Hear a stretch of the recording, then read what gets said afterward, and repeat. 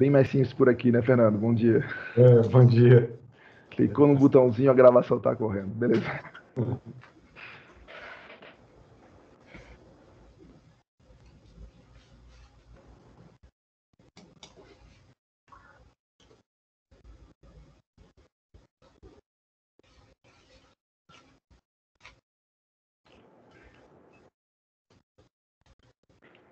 Bom, são 8h58, acho que eu já vou fazer só um recapitulativo das apresentações da terça-feira. Na terça-feira tivemos umas 12 mais 15 apresentações. Algumas poucas pessoas faltaram, mas teve muitas coisas bem interessantes. Você de resultados relativamente simples, mas que mostram que mesmo para um novato na área já é possível chegar a alguma coisa interessante teve trabalhos assim, mais avançados, como o do Leonardo Ferreira, que claramente vê que ele gastou muito tempo e ele já tinha uma boa base, já estava pesquisando nessa área antes e utilizou ferramentas mais avançadas. Teve, dizer, o, acho que foi o colega do, do TRT de Minas Gerais, eu acho, probabilidade de conciliação de processos, que ele fez uma série de comparações de algoritmos ensinados em, em, sala, de, em sala de aula, né? com, é, com Deep Learning, inclusive usando BERT, que é meio que o, o estado da arte de NLP usando Deep Learning, e mostrou que tinha resultados muito próximos, ou seja, dado o, a baixa complexidade de fazer um bag of words e um TF-DF, e por cima ele usou um SVM ou poderia ter sido um SGD, chegou num resultado bastante próximo do que conseguiria usando o BERT, que é um maquinário algorítmico muitíssimo mais pesado. E aí eu acho isso também bem encorajador, né? Ou seja, vale a pena continuar trilhando os próximos passos de deep learning para aprender ferramentas mais poderosas, mas o efeito delas se revela mais intensamente em, em problemas mais complexos se o seu problema de classificação de texto é relativamente simples, número pequeno de categorias, e essas categorias estão assim, mais claramente evidentes, não precisa de uma, uma compreensão mais refinada do texto para conseguir classificá-la, essas técnicas mais simples já geram bons resultados. que mais? O Jocelino, né, o preditor de gestores públicos. Sim, o trabalho do Jocelino, que foi assim surpreendente, ele consegue identificar um, com 85% de acurácia dentre agentes políticos e gestores públicos, é, aqueles que foram identificados com irregularidades pelo TCU.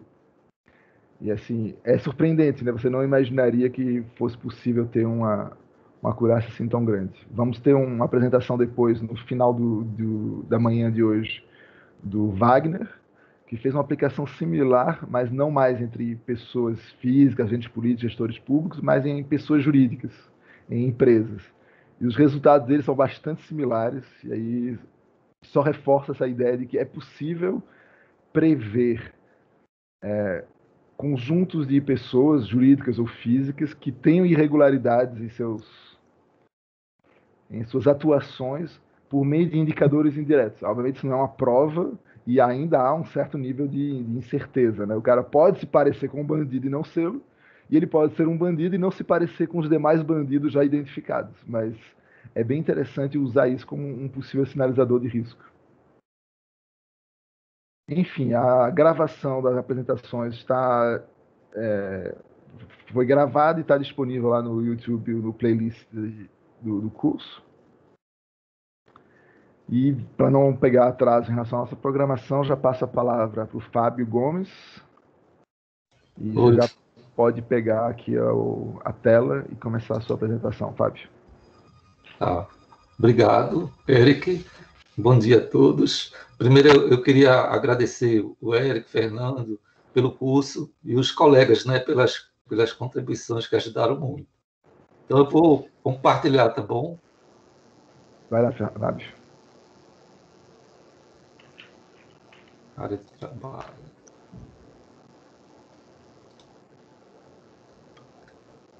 Tá aparecendo? Ainda não. Ainda não. Apareceu? Não.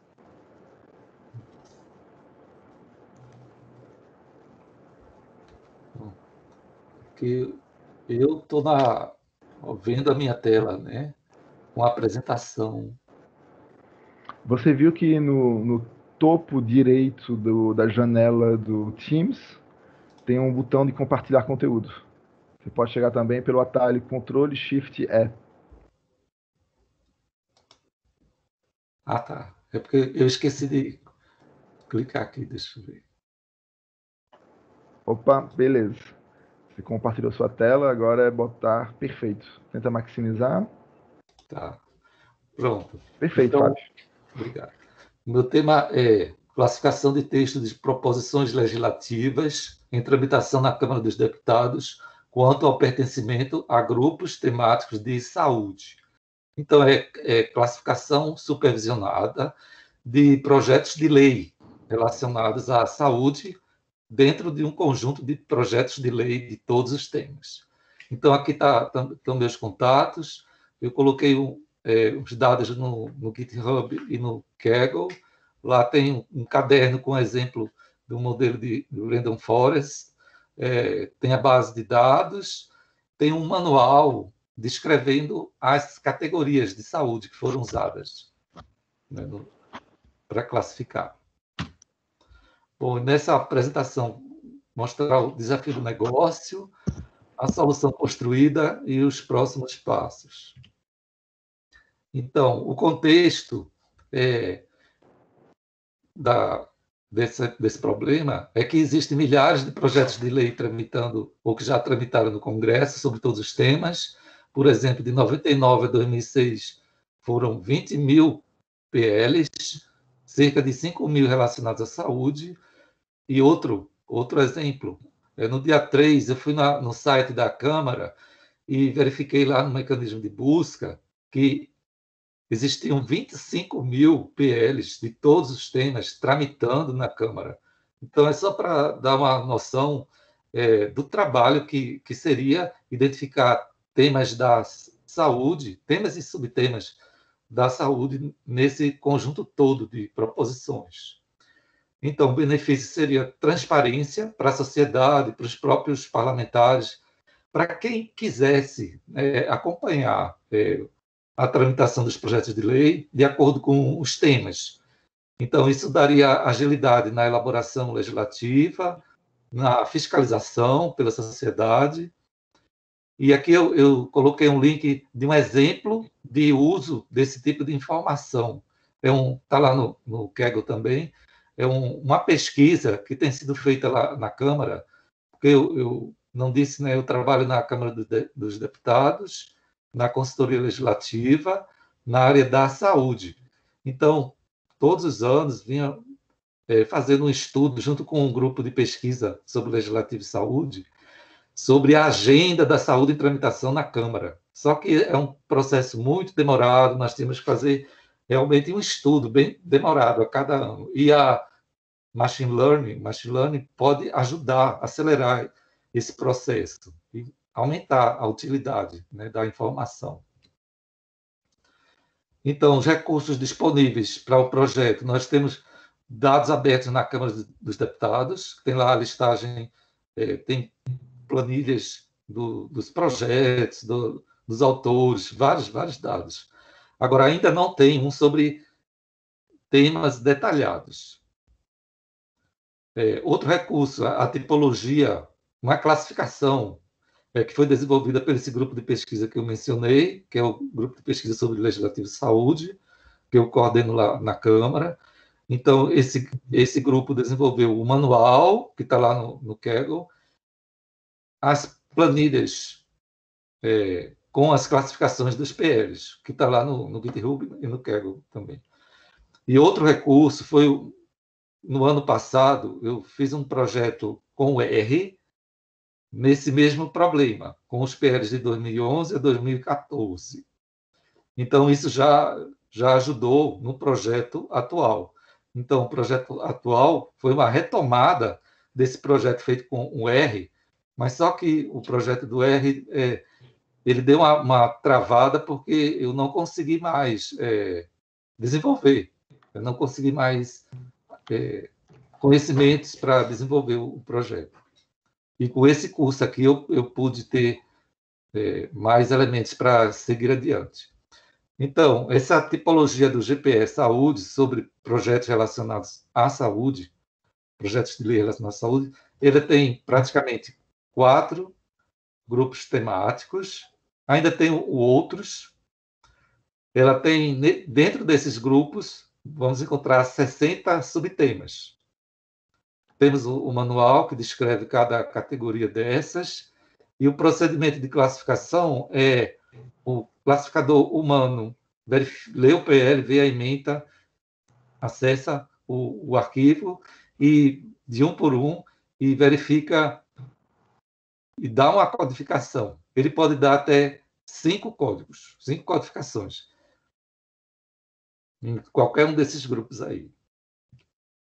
Bom, e, e ainda no projeto R, é, consegui chegar com o melhor desempenho foi o modelo do Random Forest, com 100 árvores, chegou a uma, chegou a uma acurácia de quase 90%, um, um recall de quase 70%. Então, para esse projeto, é muito importante reduzir os falsos negativos, né, que tá, estarei aqui porque eu realmente desejo encontrar os, as proposições relacionadas à saúde. Mas é claro, com uma, com uma boa precisão. E ainda nesse projeto é só para mostrar o, os outros modelos que foram testados, e o, o Forest foi o, o melhor. O SVM ainda conseguiu maior recall, mas a acurácia do modelo foi menor. Então, as lições desse projeto R no ano passado é, foi corrigir erros observados nos dados a partir dos resultados dos modelos. Então, já corrigi a, a base de dados, aplicar modelos a subtemas, não apenas porque aquilo que eu mostrei ali, é, a, a pergunta foi: era saúde, sim ou não? Era um problema binário. Mas agora é ampliar para grupos temáticos e subtemas mas sempre é sim ou não, pelo que eu tenho feito. E revisar a estrutura da própria tipologia, porque a primeira experiência deu para observar que algumas categorias poderiam estar com a lógica tanto enviesada e dificultando né, para, para o modelo captar aquela, aquela categoria. E nesse projeto atual, então, já disse que é NLP, classificação supervisionada, também com o mesmo conjunto, PL de 2011 a 2014, porque eu não tinha tempo de, de coletar mais. Porque no ano passado, a principal dificuldade foi coletar o TXT, a partir dos PDFs que estão lá na, na página da, da Câmara. Nesse, nesse ano, fiz a, a migração para o Python, que foi muito interessante, porque a equipe lá da, da Câmara, muito boa TI, mas eles eles focam no Python. Então, na época, só tinha uma pessoa que é, mexia com, com R, no ano passado. Então, vou também descrever um pouco do método das variáveis. E, nesse ano, eu fiz, graças ao curso, né, usando os cadernos do, do Eric Fernando, 26 experimentos. Tenho, então, eu tenho 26 cadernos. E lá na, no Kaggle, no GitHub, tem uma tabela síntese desses experimentos. Então, o método, essas etapas 1, 2 e 3, eu já, já tinha desde o ano passado. Então, para vocês verem, a base original tem 8.300 PL, mas no final eu fiquei com 7.500 e poucos, justamente devido à dificuldade da conversão. Mesmo assim, é, é, ficou um bom número e essa base de 7.500 tem exatamente a mesma proporção de saúde e não saúde que a base original. Então, eu acho que foi algum evento aleatório, essa dificuldade da conversão. A etapa 4 e 5 foi a do projeto atual. Então, aplicamos o, os modelos Machine Learning com Python, com os cadernos do, do Fernando. É, o modelo é, dividido 80% treinamento e 20% teste. E foi calculada a acurácia, recall, precisão e F1 score. E as variáveis, é, como a, o, o feature, né, é, o texto, era realmente o texto do PL. A média de palavras por PL é 844 palavras, um desvio padrão que eu acho que é grande, 1963, e o corpus do PL total tinha 33.700 tokens. A variável dependente, que o texto, né? Mostrou. Ah, é, depend... ah desculpa, não é o texto, é o, é o saúde e não saúde, no, no Banco Geral. É, 72% de não saúde, 28% de saúde. A frequência relativa dos grupos temáticos, quase 4% de assistência do grupo de gestão da saúde. O que tinha maior foi prevenção, 15%, e que esse é o grupo que vai ter melhores métricas. O direito relacionado à saúde, quase 7%, e outros não teve nenhum, nenhum na categoria outros. Então, na tabela síntese que está lá no, no Kaggle, vai, vocês vão encontrar os resultados das métricas e os é, e os experimentos. Então, foram vários experimentos. Os primeiros foram para detectar um melhor modelo, usando os cadernos é, fornecidos no curso, que usava o Count Vectorizer UTF e DF. E, em geral, é, os melhores modelos conseguiram chegar a 91% de acurácia. O recall, recall teve alguns que chegaram a 80%, a precisão, alguns chegaram a 91, e o F1 score foi em torno de 82, por aí. É, fiz experimentos também com, além do Count Vectorizer IDF, com o Bag of Words, mas usando a limpeza de dados é, em relação à acentuação, ao stemmer, ao variando o número de máximo de caracteres. Então deu para ver que dos 33 mil tokens, usando, por exemplo, 5.500, já dava para obter bons resultados comparando com, com os outros, e isso agilizava o processamento dos experimentos. Também fez experimentos que não está aparecendo aqui é, com os grupos temáticos, com assistência, prevenção, etc. Fez experimento com o, o Ensemble de SVM, Naive Base e Random Forest, mas eu não sabia manipular bem esses códigos, eu só consegui detectar uma acurácia de 90%, mas não, não, não pude calcular os demais. Agora, como demorou bastante para rodar esse ensemble, eu acabei privilegiando usar outros modelos, tipo o Random Forest, que acabou ficando bem mais rápido. Então, um resumo dos resultados. O NLP melhorou ah, desse projeto NLP, melhorou o desempenho obtido no projeto R nesse ano. A acurácia foi um pouco maior, era de 80, quase 90, conseguiu chegar a 91 né, usando o SGD, o SVM e o Random Forest, e foram captados mais casos de saúde, que é o, é meu interesse bem muito forte. Antes tinha captado 296, agora 326, Alguns até captaram mais, como o SVM, mas a precisão caiu muito. O Stemmer, em geral, melhorou um pouco o desempenho dos modelos. A classificação dos grupos temáticos obteve um desempenho bem inferior ao conjunto de, da saúde. É, bem inferior, embora a acurácia tenha sido muito alta. Por exemplo, no grupo da assistência, chegou a, a 97% de acurácia no modelo, mas quando você vê o recall, ficava em 25. Então, realmente não interessa isso pra, para o projeto.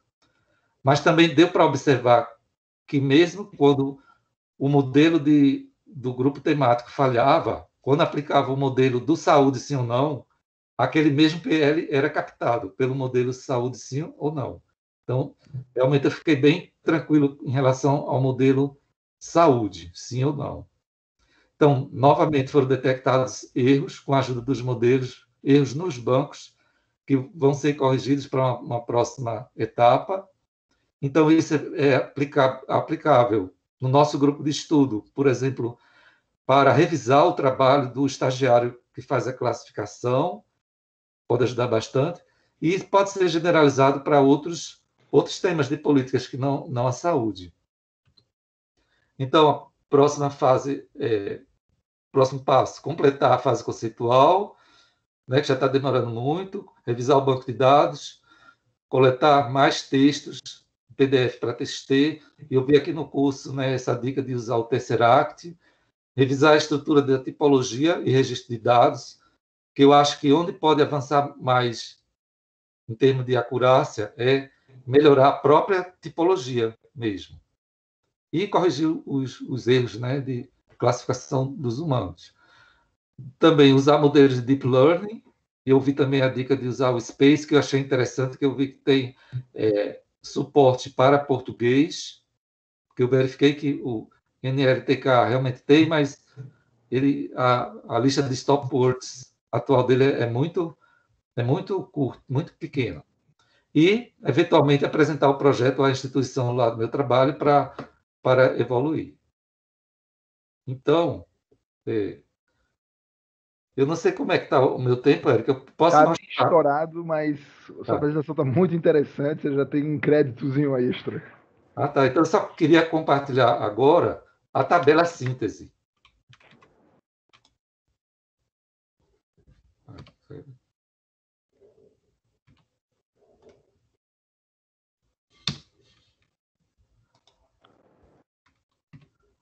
Aí eu vou para a tabela síntese para mostrar alguma coisa e vou compartilhar de novo.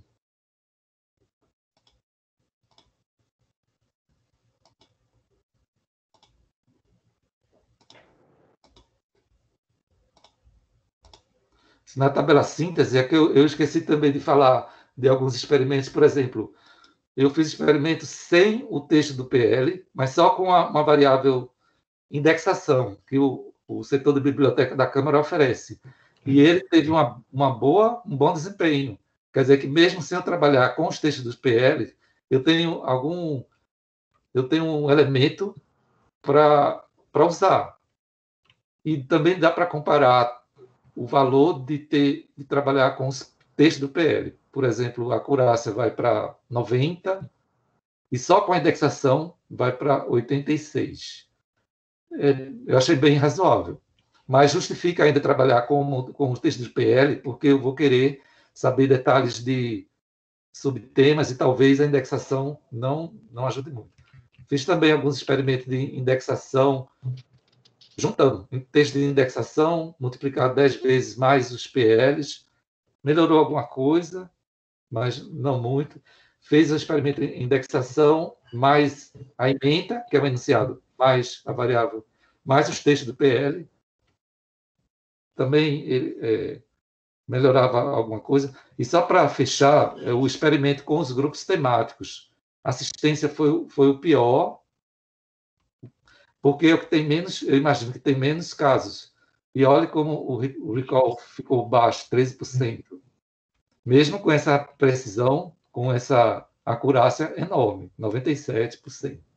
Então, é, é isso. Obrigado, estou à disposição para perguntas. Fábio, fantástico, assim, realmente, parabéns.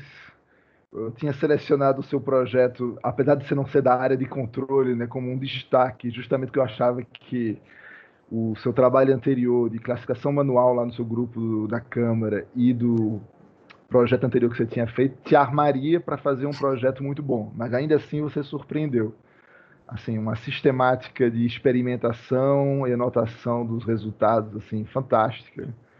Que você fez é meio que o, o ideal que eu gostaria que todos os, os, alunos e colegas fizessem, né? Essa investigação sistemática de, de abordagens, de algoritmos, de pré-processamento, assim, extremamente sólidos resultados, parabéns. Você já deve ter uma, uma, uma formação enquanto cientista, né? Já fez mestrado ou doutorado? Aí eu fiz é, mestrado, doutorado em ciência política e mestrado na área de saúde pública.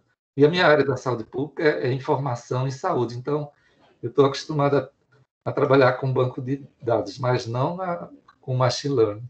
E realmente eu gostei muito de agora eu estar tá podendo trabalhar com o Python, que isso vai me permitir conversar mais tranquilamente com o pessoal da TI da Câmara, que são muito bons. Inclusive, no, no meu setor, eles já desenvolvem projetos de machine learning, só que é para a área administrativa. Então, uhum. eu ainda não consegui argumentar para para que façam projetos na, na área na área é, substantiva de políticas públicas, sabe? Saúde, educação. Mas eu acho que agora está tá bem perto. Não, assim, fantástico. Então, também quero felicitá-lo pelo, pelo trabalho né, de, de, geração dos dados anotados e o fato de estar publicando né, o seu dataset, o seu código de análise lá no Kaggle e, no GitHub. Eu acho isso ótimo para facilitar o reuso né, das, dos seus resultados. Eu fiquei com algumas dúvidas aqui em relação a essa indexação vezes 10 mais o texto do PL. O que é essa, indexação vezes 10? Assim, eu peguei, eu peguei o campo indexação é o da biblioteca FAS da Câmara para todos os PL. Então, ela, ela tem em torno de uns 30 termos, não são muitos. Por isso que eu multipliquei ela por 10. Aí o, Você o programa... repetiu o texto, uma sequência de texto maior, repetindo aquela sequência várias vezes, é isso? Isso, porque o, o outro, o texto do PL dá umas 800 palavras. Eu quis aumentar o peso dela. Melhorou um pouco, mas é porque eu comecei com, com 10 para ver o efeito, depois ia diminuir, mas eu vi que não, não melhorou tanto assim, aí eu, eu parei por, por ali. É, essa abordagem é uma possível. A outra que eu recomendaria, na verdade, é que você faria dois tratamentos TF-DF independentes um só mesmo somente para a, a indexação e um outro para o texto pleno do PL. E aí o resultado dessas duas matrizes de, de frequência de palavras, você colaria eles numa matriz única. Ah. Então o seu classificador ele receberia frequência relativa de palavras na indexação e frequência relativa de palavras no PL. E seriam como se fossem features, é, variáveis independentes é, o seu classificador depois ele receberia essas informações e tentaria fazer uma síntese. Aí você não precisaria fazer essa aumenta, esse aumento artificial de, do tamanho da indexação para torná-lo comparável com o texto bruto. Acho que o Fernando ele tem uma experiência similar em que ele usa o texto bruto, depois ele usa o texto indexado e aí ele faz uma junção dos dois. Quer falar sobre isso, Fernando? Sim, é, a gente, eu acho que essa abordagem de separar a indexação do texto é, é válida. É, entretanto, no nosso, na nossa pesquisa científica lá do Senado, a gente usou, a gente concatenou o texto. Então, a gente simplesmente juntou a indexação ao final do texto do que a gente estava classificando. No caso aí, então, no caso do, do, do, do Fábio, seria o texto do PL, e aí, ao final, você junta as palavras da indexação.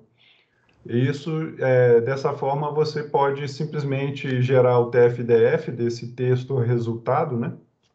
E funciona, funciona perfeitamente como se tivesse é, é, se tivessem separados também, né? eles também funcionariam bem.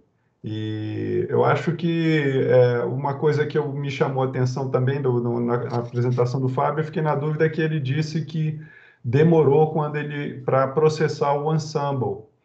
E aí eu acho que vale a pena alertar que o ensemble você não precisa retreinar os modelos. Os modelos já estão é, treinados separadamente, então você só classifica o texto é, em em cada um deles e depois faz a média, a média ponderada ou a média, é, ou simplesmente a média mesmo é, do, do, da classificação, né? Não precisa retreinar os modelos, né, Eric? Isso. Você pode fazer uma sombra apenas nas previsões. Aí o modelo A faz a previsão A, o modelo B faz a previsão B. Aí você pega as previsões A e previsão B, e você faz uma média dessas previsões. Ou seja, você não retreinou um modelo, você pegou apenas o resultado gerado por um modelo e você combinou os resultados para gerar um novo resultado, que é uma média, pode ser inclusive uma média ponderada, dependendo da, da qualidade de cada um dos modelos. E aí essa nova previsão é que você usa como previsão do, do ensemble como um todo. Ah, entendi. Eu, eu usei uma, um, um, um código que ele ele, ele fazia a, as modelagens de todos os, os, três e depois gastou um tempo grande para para o próprio ensemble.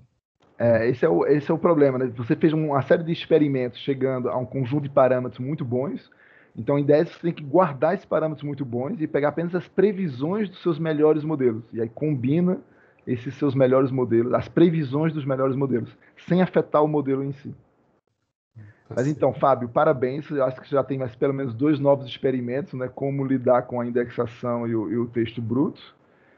É, é, basicamente isso. Assim, parabéns, realmente. Eu achei bem interessante. Eu achei legal que você tenha reforçado o fato de que o, o processo de modelização levou você a fazer uma revisão das categorias de negócio e de é, controle de qualidade dos dados classificados. Isso aqui é outra outra lição que eu gostaria que ficasse bem claro para todos. Né? Você pode usar o machine learning não apenas para fazer previsões, mas também para melhorar o processo de coleta de dados, o processo de anotação e a lógica de como você está anotando. O, o resultado obtido por machine learning ele é, ele é útil em vários outros aspectos que não apenas na previsão. E finalmente, o, enfatizar de novo né, a generalidade da sua solução. Você fez uma ênfase agora em saúde, que é a sua área, mas praticamente o mesmo código que você utilizou com pequenas, com só o trabalho manual de fazer novas anotações né, para outra área, já permitiria fazer essas classificações em outras áreas. Parece chover no molhado, mas assim, a minha dica para vocês, quando vocês falam com leigos, vocês têm que deixar isso claro, que as pessoas vão entender apenas que vocês conseguiram fazer classificação de saúde. E o, o que vocês conseguiram é muito mais geral, né? Vocês conseguiram fazer classificação de projetos de lei em temas. Vocês treinaram com dados de saúde e logo gera classificação de saúde. Mas se forem obtidos dados anotados de outras áreas, o seu código, com mínimos ajustes, vai fazer de novo uma classificação de qualidade para outras áreas também. Tá Bom, demorou um pouquinho mais do que estava previsto, mas assim, alta qualidade, acho que compensa o sacrifício de tempo para isso. Então, eu já gostaria de chamar o próximo, o Drauzio Gomes pode já assumir a palavra e o controle da tela. Drauzio. Beleza, já apareci ali. Vamos selecionar a tela. Eu peço desculpa né, pelo esse atrasozinho, mas a gente tem umas, uns tempos de ajuste, umas gordurinhas a cada hora e a gente vai comendo essas gordurinhas. Ah, que é isso.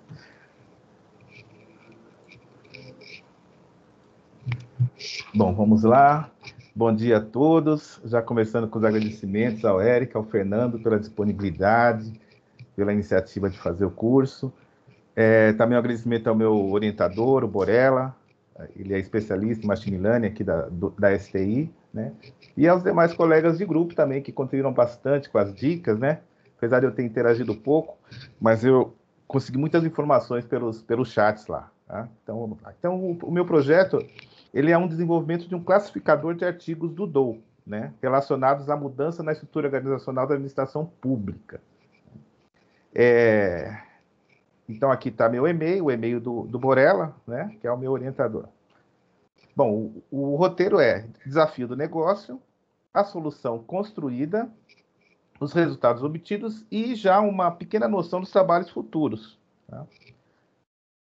Bom, qual que é o principal desafio do negócio? É, é fornecer as informações referentes às alterações da estrutura organizacional da administração pública para fins de atualizar os sistemas internos do TCU e, indiretamente, facilitar o trabalho de controle interno, né? porque para a pessoa auditar um, um, determinado órgão, ele precisa conhecer em detalhes como está a estrutura desse órgão no momento e até mesmo no, no, no momento passado. Né? E dentro dessa linha de atuação, é, o fator preponderante é identificar na mudança da estrutura organizacional, principalmente nos níveis mais altos, né, de órgãos, secretaria, ministérios, conselhos, a criação de órgãos, de novos órgãos, as reestruturações internas que ocorrem e também mudanças nas atribuições. Às vezes o órgão já existe, mas ele mudou a sua atribuição. Dentro do desafio negócio, é, o fator principal foi a fonte de dados. Onde é que estão os dados que eu posso utilizar. Então, o dado principal é o próprio Diário Oficial da União. Toda mudança de estrutura na administração pública, ela é publicada no Diário Oficial da União, principalmente nas chamadas seções 1 e seção 2 do diário. Quem conhece mais detalhe o diário pode ver. Então, eu selecionei aqui dois tipos de atos que são bem típicos, São os atos de interesse da, do modelo. Então, esse aqui, por exemplo, dispõe sobre a estrutura, a competência e o funcionamento das unidades subordinadas. Diz referência ao CAD, e aqui dentro ele mostra a criação de órgãos, alterações de órgãos. Né? E um segundo aqui é um decreto que aprova a estrutura regimental do quadro né, dessa empresa aqui que foi criada, Agência Espacial Brasileira. Né? Então, muitas vezes, é, essas alterações na estrutura organizacional vêm pelo termo estrutura regimental ou estrutura organizacional. Então, a gente, durante o projeto, foi entendendo um pouquinho melhor esses, esses termos. E aqui, o, a URL onde a gente buscou, né? É, lá nos dados GovBR, na parte referente à imprensa nacional, que é responsável por, por organizar o, o Diário Oficial da União. Bom, aqui agora eu já vou entrar na solução construída e um quadro resumo do que foi o trabalho. Né? Então, o objetivo principal foi criar um classificador com aprendizagem supervisionada utilizando técnicas de NLP. Né? Por quê? O principal insumo que eu tinha são os textos do Diário Oficial da União. Então, a variável independente praticamente foram duas: o texto do DOU né, e o tipo de ato, se é lei, portaria, decreto. Sendo que o texto do DOU acabou gerando um total de 100 mil palavras, né? ou bigramas. Eu trabalhei com palavras e bigramas. Né? E o tipo, a tipologia de atos, ela gerou 152 categorias. Então, ficou um modelo muito extenso em termos de quantidade de, de features. Né? É, em relação à variável independente, é bem simples, é binária. Ou o artigo diz respeito à mudança na estrutura organizacional, ou não, não diz respeito. Tá? Então, eu fiz uma publicação rápida ontem à noite no, no meu GitHub, tá?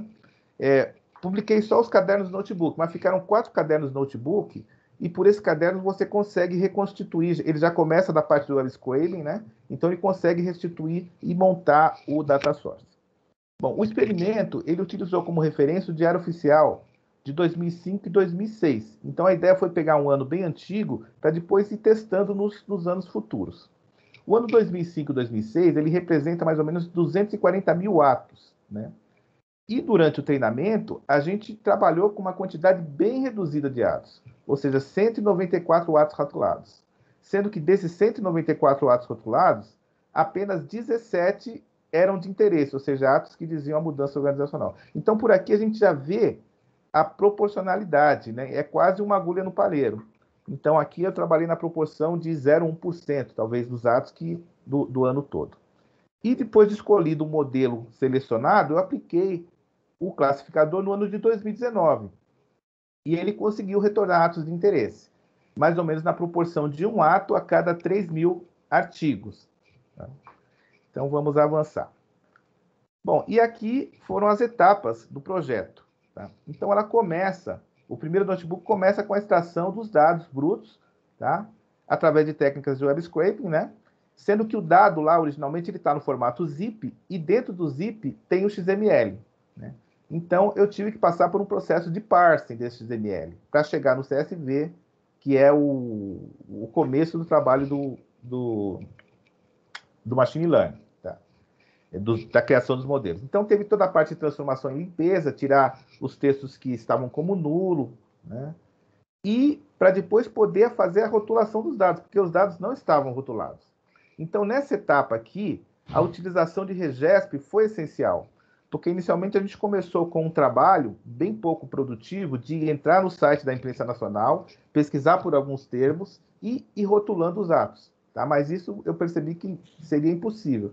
Então, com o auxílio do, do meu orientador, que conhece bastante de expressões regulares, ele, a gente criou algumas expressões regulares que, consegui, que sabidamente trariam esses atos e ele conseguiu filtrar é, uma quantidade de atos no qual eu pude rotular com, com mais tranquilidade.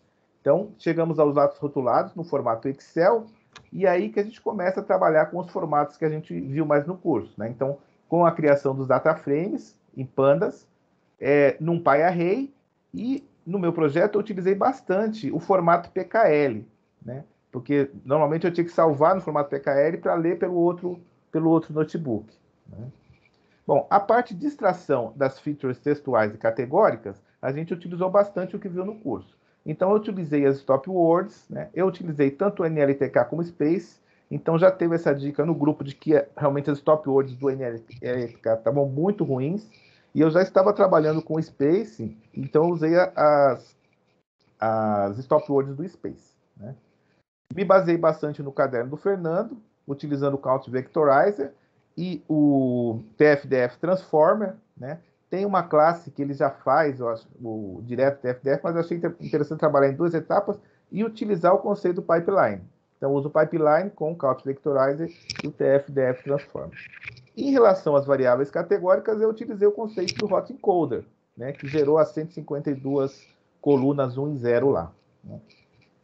Bom, dessa etapa aqui, nós estamos para a parte do treinamento dos modelos de classificação. Então, a gente selecionou cinco modelos e criou uma matriz, né, um dicionário de matriz com esses modelos e executou os comandos básicos fit e predict, e levantou a matriz do, dos vários.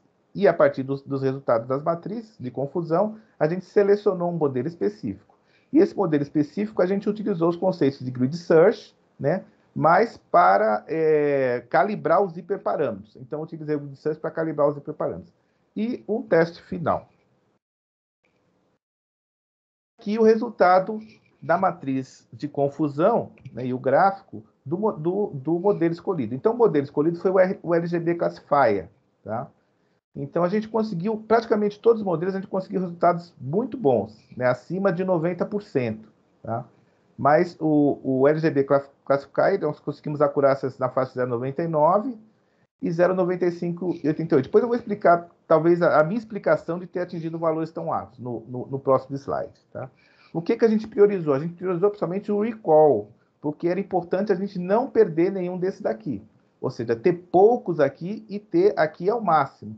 Então, aqui você vê que nas classes balanceadas, outro detalhe também interessante do projeto é que procurei trabalhar sempre com os dois, as classes balanceadas e as desbalanceadas, para sentir esse efeito, né? Então, para a classe balanceada, realmente ele não perdeu nenhum, nenhum ato. Já para desbalanceadas, não teve um resu resultado tão bom. Só que eu levei em consideração mais o F1 score. Tá? Então, no comparativo com os demais modelos, a gente optou pelo LGB Classifier. Outros fatores também que a gente levou em consideração é que o LGB Classifier ele, ele trabalha com uma otimização para grandes bases de dados. Apesar da minha base ter poucos, poucos registros, ela tinha uma quantidade enorme de colunas ou features, né? E também os próprios resultados obtidos em competições, como a gente viu nas palestras do, do último evento, né? E também já tem uma certa internalização do conhecimento nas áreas de TI lá que lidam com, com machine learning em relação a esse modelo. Agora eu vou entrar um pouquinho no caderno notebook, tá? para a gente ter uma ideia de como é que foi o trabalho. Então, esse é o último caderno, eu lembro que eu, falei que eu dividi em quatro, né? Então, nesse último caderno que tem realmente o treinamento. Então, aqui, ó, a recuperação dos PKLs, tá vendo? Eu guardei o, o, o X e o Y dos PKLs, resgatei aqui, fiz a divisão em treinamento teste, né? E comecei a trabalhar, tá? Então aqui é, ficaram 100.152 colunas e mais ou menos 1.100 registros, mais ou menos. Então, é como eu falei, eu fiz um balanceamento é, simplesmente replicando os registros com um. Tá? Bom, aqui eu montei tipo uma matriz com os classificadores que eu, que eu ia testar, que é a árvore de decisão, o Randall Force, o Gaussian Naive Bias, o K-Neighbors né, e o LGB Classifier. E coloquei alguns parâmetros aqui, meio mais ou menos pelos exemplos que eu, que eu encontrei na internet. Tá? E rodei para classes balanceadas e para as classes desbalanceadas. Então aqui tem as matrizes de confusão, sempre para balanceada e desbalanceada, e os valores obtidos. Você vê que as acurácias sempre bastante altas. Tá? Então, para vários modelos, Random Forest, o Gaussian, né?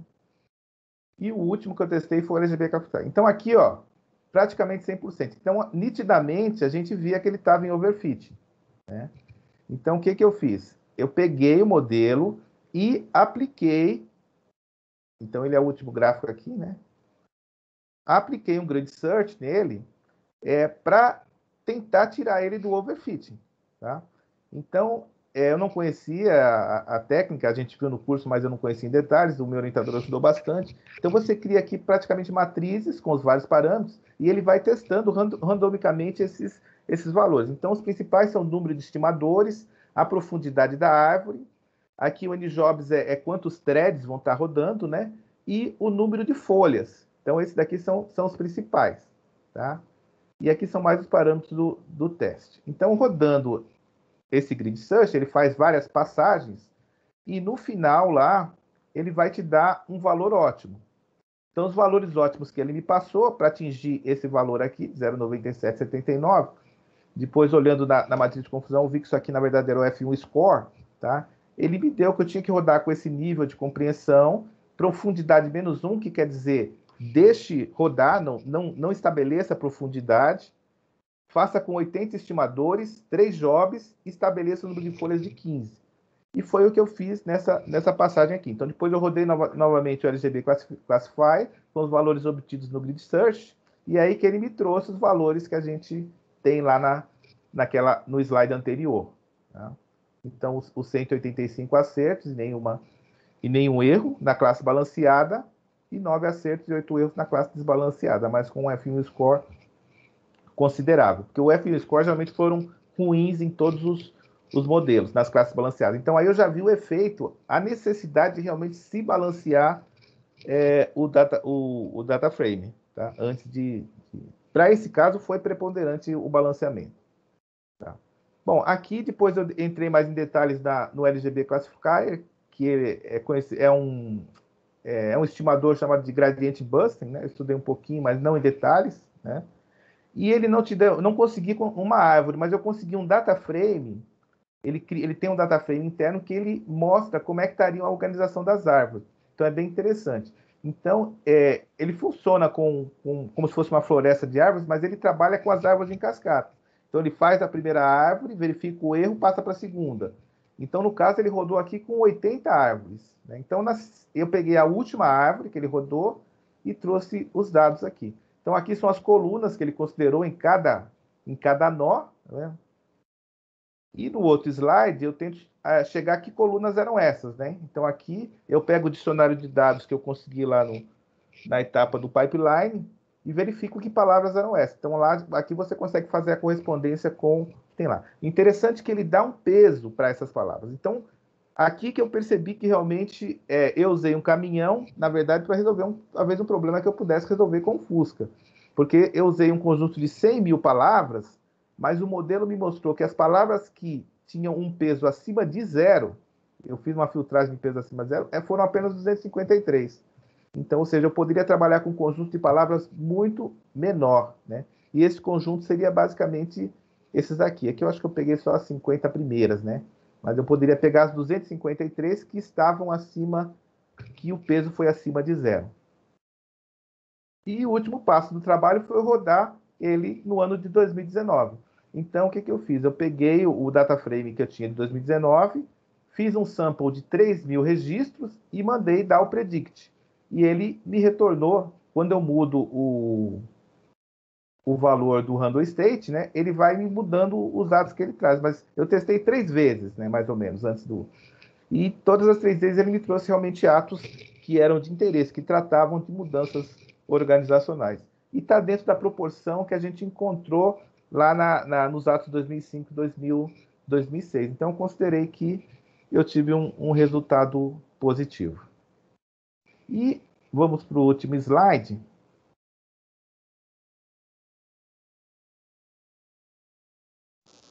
Que é a visão de futuro, né? Então, aqui eu coloquei alguns possíveis trabalhos futuros. Quando eu comecei o curso, a minha, a minha intenção era talvez começar a trabalhar com o NER, mas realmente não tinha tempo hábil, né?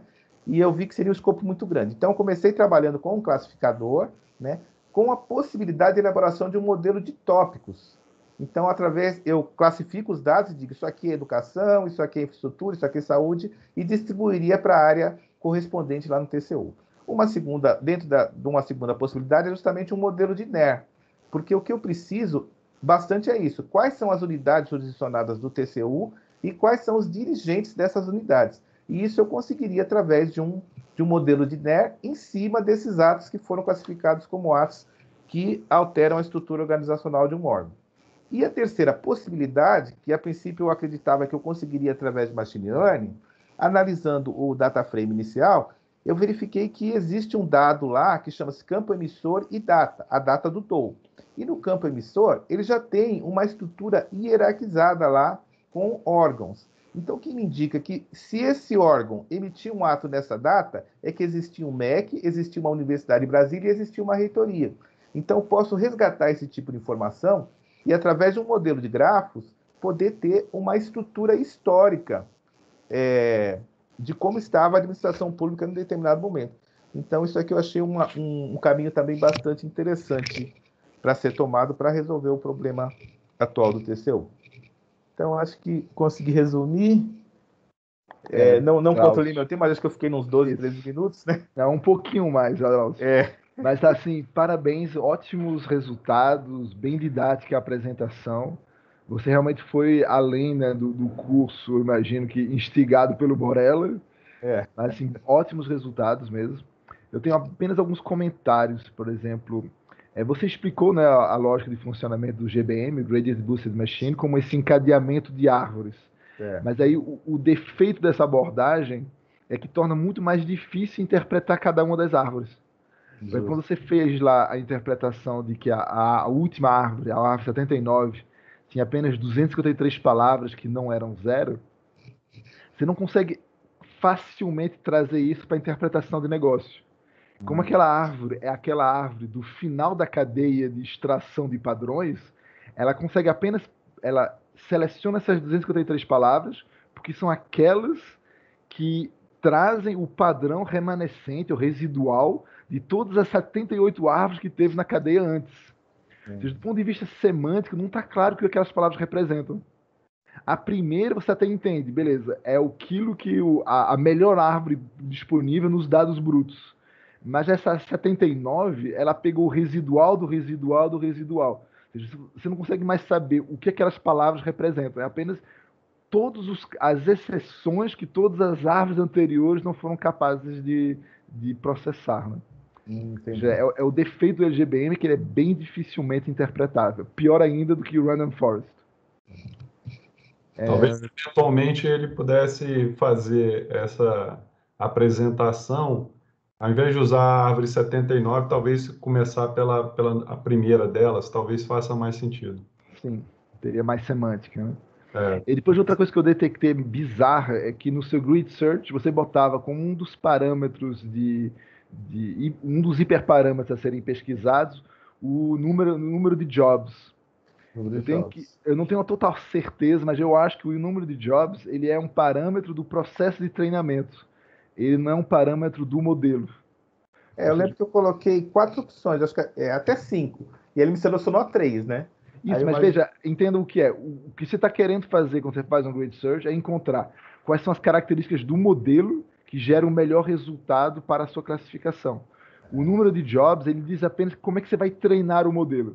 Você vai treinar com uma única CPU ou múltiplas Isso. CPUs. E, em tese, nesse paralelismo, você ganharia apenas em termos de eficiência. Ou seja, o fato dele ter escolhido três é meio que uma flutuação aleatória. Não quer dizer que você tem um, melhor, um modelo de melhor qualidade usando o grau de paralelismo 3. Entendeu? É que tem, tem chamado hiperparâmetros que, que controlam o comportamento do modelo, como por exemplo a profundidade máxima das árvores, e outros parâmetros do treinamento e diz: você vai treinar com uma ou duas máquinas, você vai, sei lá, priorizar tais dados ou tal e tais outros. E aí você acha que você acabou misturando tudo no Grid Search, inclusive esses de parâmetros de treinamento e não parâmetros do, do modelo. Verdade. É, o macete é usar o number of jobs igual a menos um, que aí ele hum, utiliza tá. todas as CPUs disponíveis para é, acelerar ao máximo o treinamento modelo. Beleza, beleza. Mas eu achei bem legal você fazer a extração de rótulos por meio de regex. Essa é uma. Como é o principal gargalo, né? gerar rótulos, você consegue encontrar algumas regex que pegam padrões claros, aí você usa esses exemplos para obter tantos exemplos positivos e negativos, reduzindo né, o trabalho manual de fazer isso. E depois você tenta extra extrapolar os padrões encontrados para é, padrões mais sutis que simplesmente a Regex não encontra. E, assim, é uma boa abordagem mesmo, achei bem didático essa sua sequência lá dos processos e as etapas do projeto. É, então já ressaltando assim o trabalho da orientação, porque isso eu consegui durante a orientação. Então, acho que é, essa dica da orientação foi muito boa, né, já dando feedback, né? E aí fica aquela dica, tentar trazer realmente antes do, do processo, porque o, as três reuniões que eu tive com o orientador foram essenciais. É, aí você está criando invejosos na turma. Né? É. Infelizmente, nem todo mundo teve acesso a essa ótima orientação que o Borella te deu. É, e o Borella é, o Borella é fantástico. Eu, eu gosto muito do Barella. O Barella é animado e sempre prestativo. Ele é excelente. Verdade.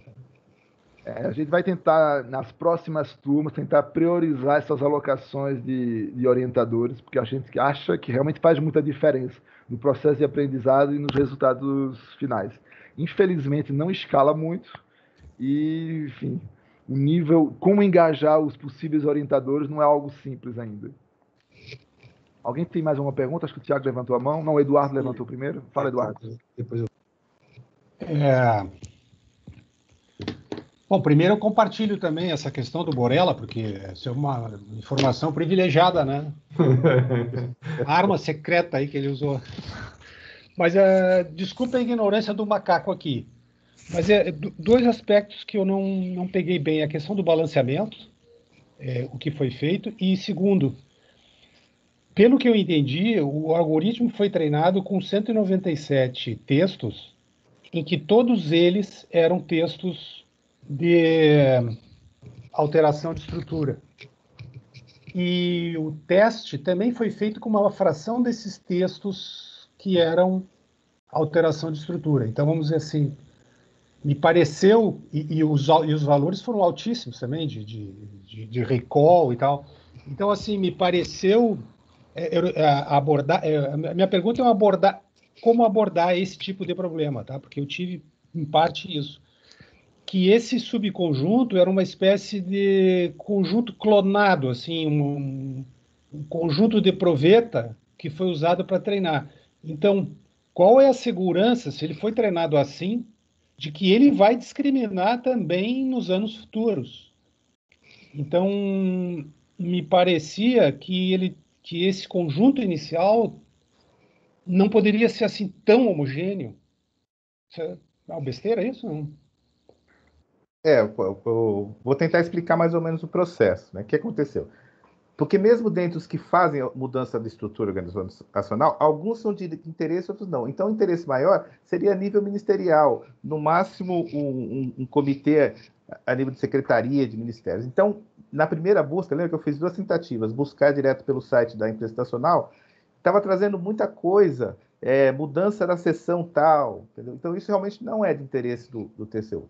Então, realmente, o, o, o, os dados que a gente trabalhou são, são dados que, vamos dizer assim, eles, será, eles conseguiriam eliminar essas pequenas nuances, né? Mas a gente subentendeu que ele também conseguiria distinguir de um ato que totalmente não é, desses que são, mas são de um, de um nível mais baixo, né? Então, isso foi uma dificuldade que a gente ponderou, né? E a ideia também foi, no final, fazer esse teste com, com o ano de 2019. Então, a gente... Eu, a princípio, achava que eu não ia conseguir chegar nessa etapa, mas como eu consegui chegar, um pouquinho eu validei também essa questão, né? Apesar do, do, do realmente o data frame ter ficado relativamente homogêneo, a gente conseguiu chegar no resultado, porque no, ao, ao, fazer o teste final, eu não aplico o REGESP. Porque se eu, se, se eu aplicasse o REGESP, eu poderia estar também fazendo, é, vamos dizer, simulando, né, digamos assim. Então, no teste final, eu não uso o REGESP. Eu mando direto o classificador e ele está conseguindo me retornar esses atos. Mas como é que você garante que o recall é, é, é acurado, vamos dizer assim, é confiável? É, isso eu teria que realmente fazer um teste mais. É, calcular a acurácia nessa base de 2009. Só que se eu não uso o Regesp, eu trabalho com uma quantidade de dados muito grande. E no o meu notebook aqui, a primeira tentativa que eu fiz sentou, não, não deu certo. Então eu, eu, teria que ter um, realmente uma máquina maior para realmente levantar qual seria a acurácia do ano de, de 2019. É, essa dúvida metodológica do Eduardo é realmente importante, porque como você construiu o seu dataset com base naquilo que foi identificado por Regexp, o seu recall ele não é necessariamente confiável para o problema de negócio, ele é confiável para aquilo que a Regex é capaz de identificar. Mas aí a, a, a minha sugestão de, de solução para isso é pega o seu modelo treinado, aplica ele né, sobre esses dados brutos do jeito que você fez, mas não pega apenas aqueles que o modelo diz como sendo positivo, mas pega aqueles que ele indica que tem mais confiança que seja positivo, ainda que esteja abaixo de um certo ponto de corte.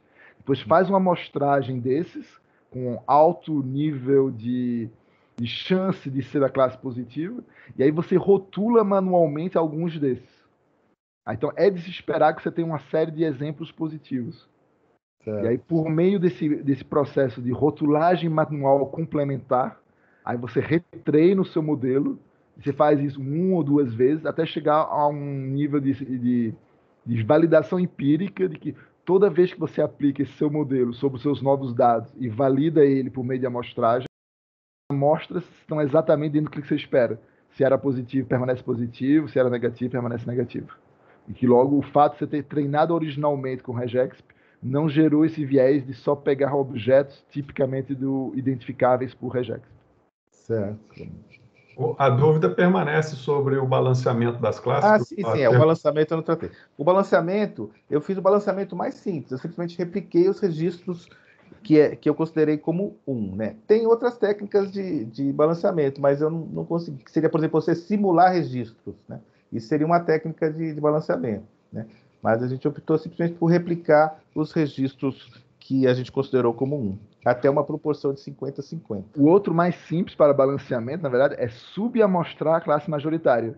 Eu não sei por que todo mundo tende a multiplicar é. a minoritária, quando pode ser mais simples ainda fazer uma amostragem a menor né, do, da classe majoritária. Mas, diminui enfim. muito a variedade do banco. Mas veja, se você só tem, sei lá, 100 exemplos, 100 exemplos anotados positivos, e você tem mil é, negativos, sim, você diminui, mas você diminui na mesma proporção que você tem de exemplos positivos, ou seja, não é um problema. No máximo, se você for fazer isso múltiplas vezes com o mesmo modelo, você pode todas as vezes fazer uma amostragem aleatória diferente. E aí você induz menos um overfit para as características daqueles negativos que você selecionou aleatoriamente. Na que toda vez eles vão mudando, a, é um, traz um efeito de regularização. Passa agora para a pergunta para o Tiago. Ok, obrigado. É, parabéns, colega Drauzio. É questão bem relevante para negócio. O tribunal poderia usar isso, por exemplo, na parte de planejamento de auditoria, ver como é que está ali a, o organograma né, do, do jurisdicionado. Eu vou levantar aqui três hipóteses para reflexão, eventualmente continuação, evolução do projeto, enfim. O, o Poder Executivo Federal tem um sistema estruturante chamado CIORG, que ele é o sistema de informações organizacionais do governo federal, que ele tem exatamente as unidades administrativas, os ministérios, as entidades vinculadas aos ministérios, que inclusive tem na, no Lab Contas do TCU uma base chamada BDCorg, que uma hipótese é, se essa base de dados do Lab Contas do TCU fosse atualizada, ia ter o dado já estruturado para fazer um trabalho de inteligência artificial em cima dele para cumprir o objetivo de negócio, certo? O segundo ponto seria um robô monitorando lá o site aberto do Ciorg, ele também poderia capturar essas mudanças nas, nas estruturas do, da administração pública, e aí poderia ser dado um alerta voltando para o TCU, para a gente saber que foi modificado e atualizar. E uma terceira hipótese é uma VPN do TCU com o Ministério da Economia, que faz a gestão do CIORG, poderia nos permitir plugar um, um, um select contínuo lá nessas unidades para saber que houve modificação. E aí o projeto de Machine Learning poderia passar a classificar a seguinte questão de negócio. Quem herdou a competência daquela unidade administrativa ou daquele órgão ou daquela entidade vinculada que, que foi modificada, né? Porque às vezes a competência sai de uma unidade para o outro, sai do ministério para o outro, funde e ou então se foi extinto. Foi extinto completamente e ninguém herdou. São algumas considerações aí. Parabéns pelo, pelo projeto, colega. Obrigado, Tiago. E realmente uma das primeiras coisas que a gente avaliou antes de verificar se seria um projeto de machine learning ou não foi justamente os dados do CIORG. Então a gente, eu não cheguei a entrar direto no BDCIORG que tem no, no Lab Contas, mas eu dou uma olhadinha nos dados abertos que tem lá no, do, do CIORG. E também tem, tem uma questão que me foi colocada, é que o CIORG ele é voltado mais para o executivo, né? Então, talvez meus colegas da Câmara que estejam, eles possam realmente me confirmar isso, que o legislativo ele não seria abraçado pelo CIORG. Né? Então, uhum. eu teria que acessar outros sistemas para pegar essa informação. E os dados que eu tinha de dados abertos lá no CIORG, ele até tinha algumas informações, mas ele não, eu não conseguia é, reconstituir essa questão da hierarquia, essa, essa coisa de unidades filhas, unidades. Então, aí que realmente eu parti para a possibilidade de, de, propor uma solução com, com machine learning. Beleza, obrigado, Drauzio. Obrigado, Tiago, pela contribuição. É, há uns dois anos atrás, teve o, o principal, sei lá, mão de obra do CIORG que fez uma apresentação no seminário. E aí, de dados. E ele explica como ele mesmo faz essa extração do DOU para construir o CIORG. Ou seja, o interessante seria até cruzar figurinhas com ele, né, ver o que, é que ele fez de melhor, comunicar o que você fez e ver se consegue criar um modelo único. Né? Evitar essa, essa várias pessoas fazendo trabalhos tão, tão semelhantes. Então, obrigado e já vou chamar o próximo, o Jonathan Aldori. É... Oi. Drauzio, por favor, libera lá o. É, isso, encerra o compartilhamento. Jonathan, consegue acessar? Não, você não está como apresentador. Tenta agora, Jonathan. Acabamos acumulando um atraso grande, peço desculpas. O, enfim, vou tentar ser um pouquinho mais estrito no horário, mas Jonathan, você era o cara que tinha previsto que ia levar mais tempo, então tenha seus 15 minutos mesmo. Vou tentar fazer em menos, né? Vamos lá. É, bom dia a todos. É, meu nome é Jonathan, né? Meu, meu objetivo era construir um classificador de objetos de licitação, trabalhando apenas com aquele texto que o pessoal publica no site de transparência, que está lá no, no Comprasnet, basicamente com aquele texto lá. Tá?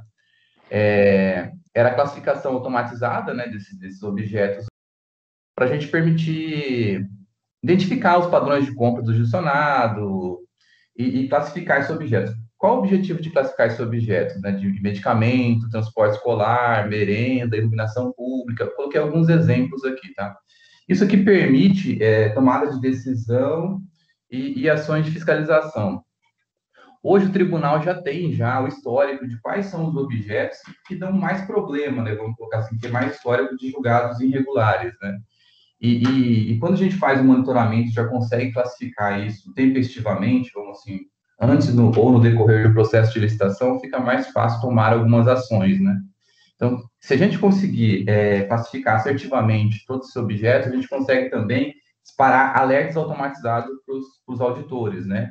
E eles têm um plano de fiscalização, então se estiver alinhado com o plano de fiscalização deles, por exemplo, ah, esse ano a gente vai fiscalizar transporte escolar, então eles conseguem cada e uma vez identificado esses tipos de contratações, a gente poderia estar disparando esses alertas para eles, para eles tomarem as devidas providências, tá?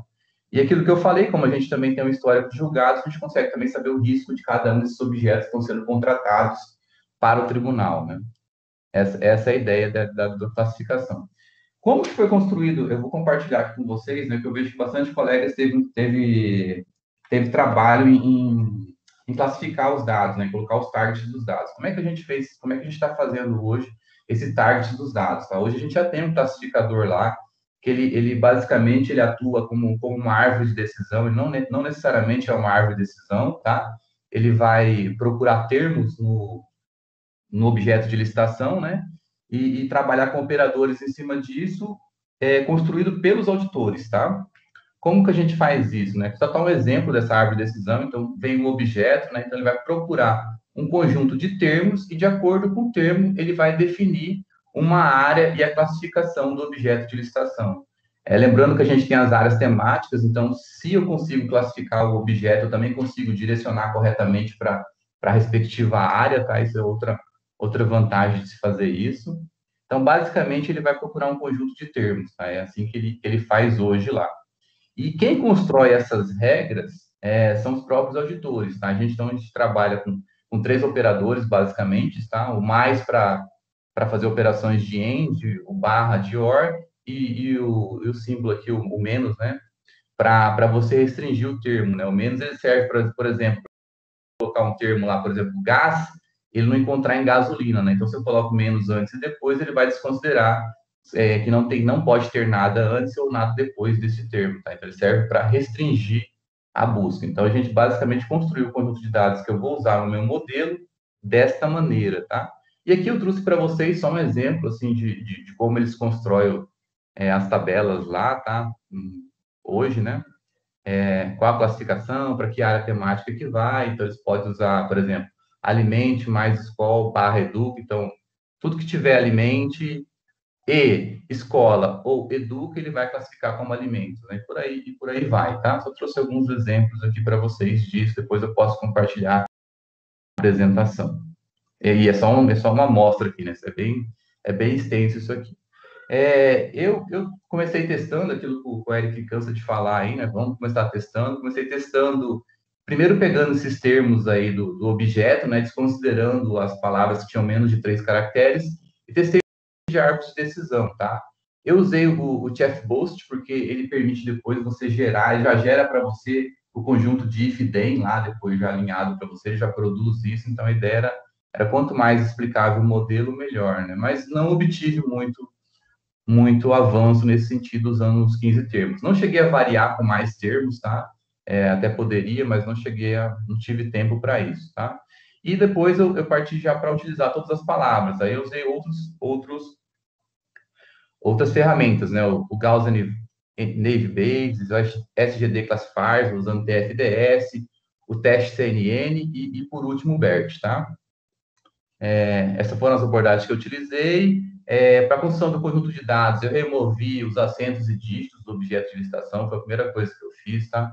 Converti tudo para minúsculo, removi, é, eu tinha 89 classes, tá? Hoje, hoje, a gente já tem 89 classes de classificação, então poderia, é, e, isso só tende a crescer hoje, tá? E dessas 89, é, eu removi as que tinham menos de 10 exemplos, tá? Então, como tinha muito pouco exemplo para treinar e validar, aí eu preferi desconsiderá-las, tá? Quando eu removi essas com menos de 10 exemplos, só resultou que o meu modelo classificar 75 classes, tá? E, e, o total de exemplos que eu utilizei lá, extraindo do conjunto de dados, né, são 42.722 exemplos, tá?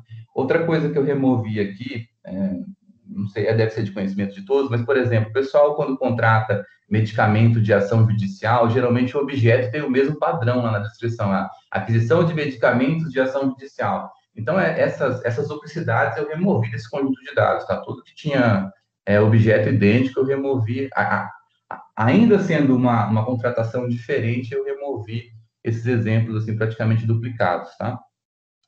É, aqui está um exemplo, tá, de uma escala logarítmica de quantos exemplos eu tinha para cada uma da, dos, das minhas variáveis start, né? Então, aqui está tá, tá como está a distribuição lá. A grande maioria é sem classificação mesmo, isso é a realidade hoje. Então, se eu, se eu removesse ou diminuísse isso, como a maioria é sem classificação, então provavelmente eu, eu não estaria pegando todos os exemplos de sem classificação que eu teria, tá, nesse, nesses casos. Então, eu preferi não, não, não, não, não deixar ela balanceada e também não, não fiz a, a técnica de balanceamento ainda na, no, no conjunto, tá? É, analisando é, esse, esse, tamanho dessas, desses descritivos de objetos de licitação, é, o, tamanho médio da sentença das palavras é de 152 palavras, tá? O desvio padrão de 126.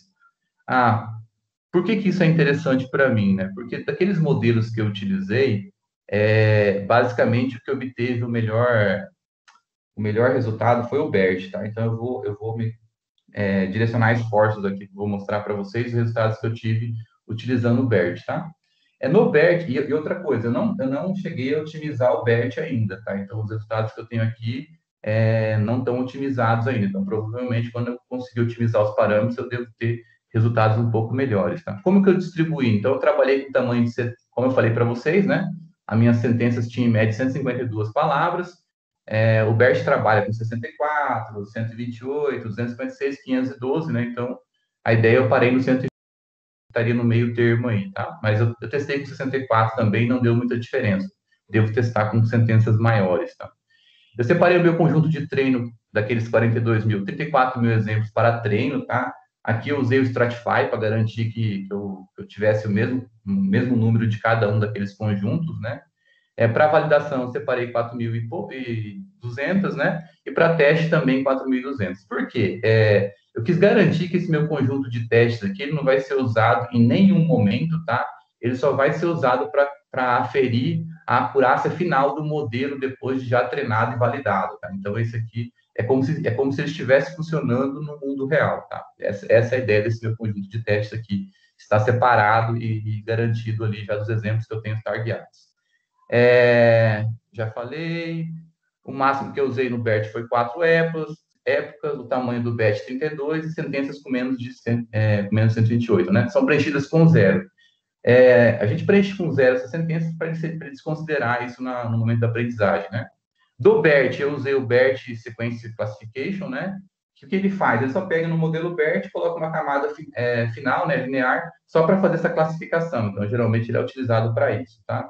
E, e, e o BERT pré-treinado de língua portuguesa. Coloquei a referência aqui também é, do, do, conjunto que eu usei do BERT pré-treinado já de língua portuguesa. É, na avaliação final do meu modelo, eu tive 4.004 acertos, tá? E 269 erros. É, aqui está a matriz de confusão, vocês podem ver como são 75 exemplos, ela é muito grande, mas a gente consegue perceber que na diagonal ele acerta e muito, tá? É, e só deixa eu, vou, vou ver se eu consigo dar um zoom aqui para a gente conseguir ver um pouco melhor a gente consegue ver que está bem assertivo na diagonal. Então, aqueles 4.004, realmente ele está aprendendo todas as classes. O que eu percebi analisando a matriz é que quando ele não aprende, por exemplo, pegando uma aqui que está zerado, é quando geralmente ele cai naqueles 10 exemplos. Ó, tenho um, dois, ó, só tive três exemplos para teste. Então, significa que no máximo eu tinha 10, 10 exemplos desse cara aqui, por isso ele não conseguiu aprender. Então, se em algum momento eu tiver mais exemplos para essa classe aqui, com certeza meu modelo vai melhorar e vai conseguir classificar melhor isso daqui, tá? É, continuando, eu fiz um outro, um outro recorte dessa matriz aqui só para mostrar para vocês, né? É, por exemplo, aqui a gente ainda quando ele erra, né? No caso aqui seria alimentação escolar, ele classificou 20, é, 10 de alimentação escolar como, como alimento e 20 de de alimentação escolar como alimento também, né? Ele fez os falsos positivos aqui. Ainda assim, ele me traz informação útil, né? Os dois são alimentos, né? A diferença é que eu queria que fosse mais restritivo quando for merenda escolar, né? Então, então ainda, ainda que ele erre aqui nesse trazendo uma informação útil, né? É, os resultados, né? Como métrica, eu utilizei a acurácia, tá?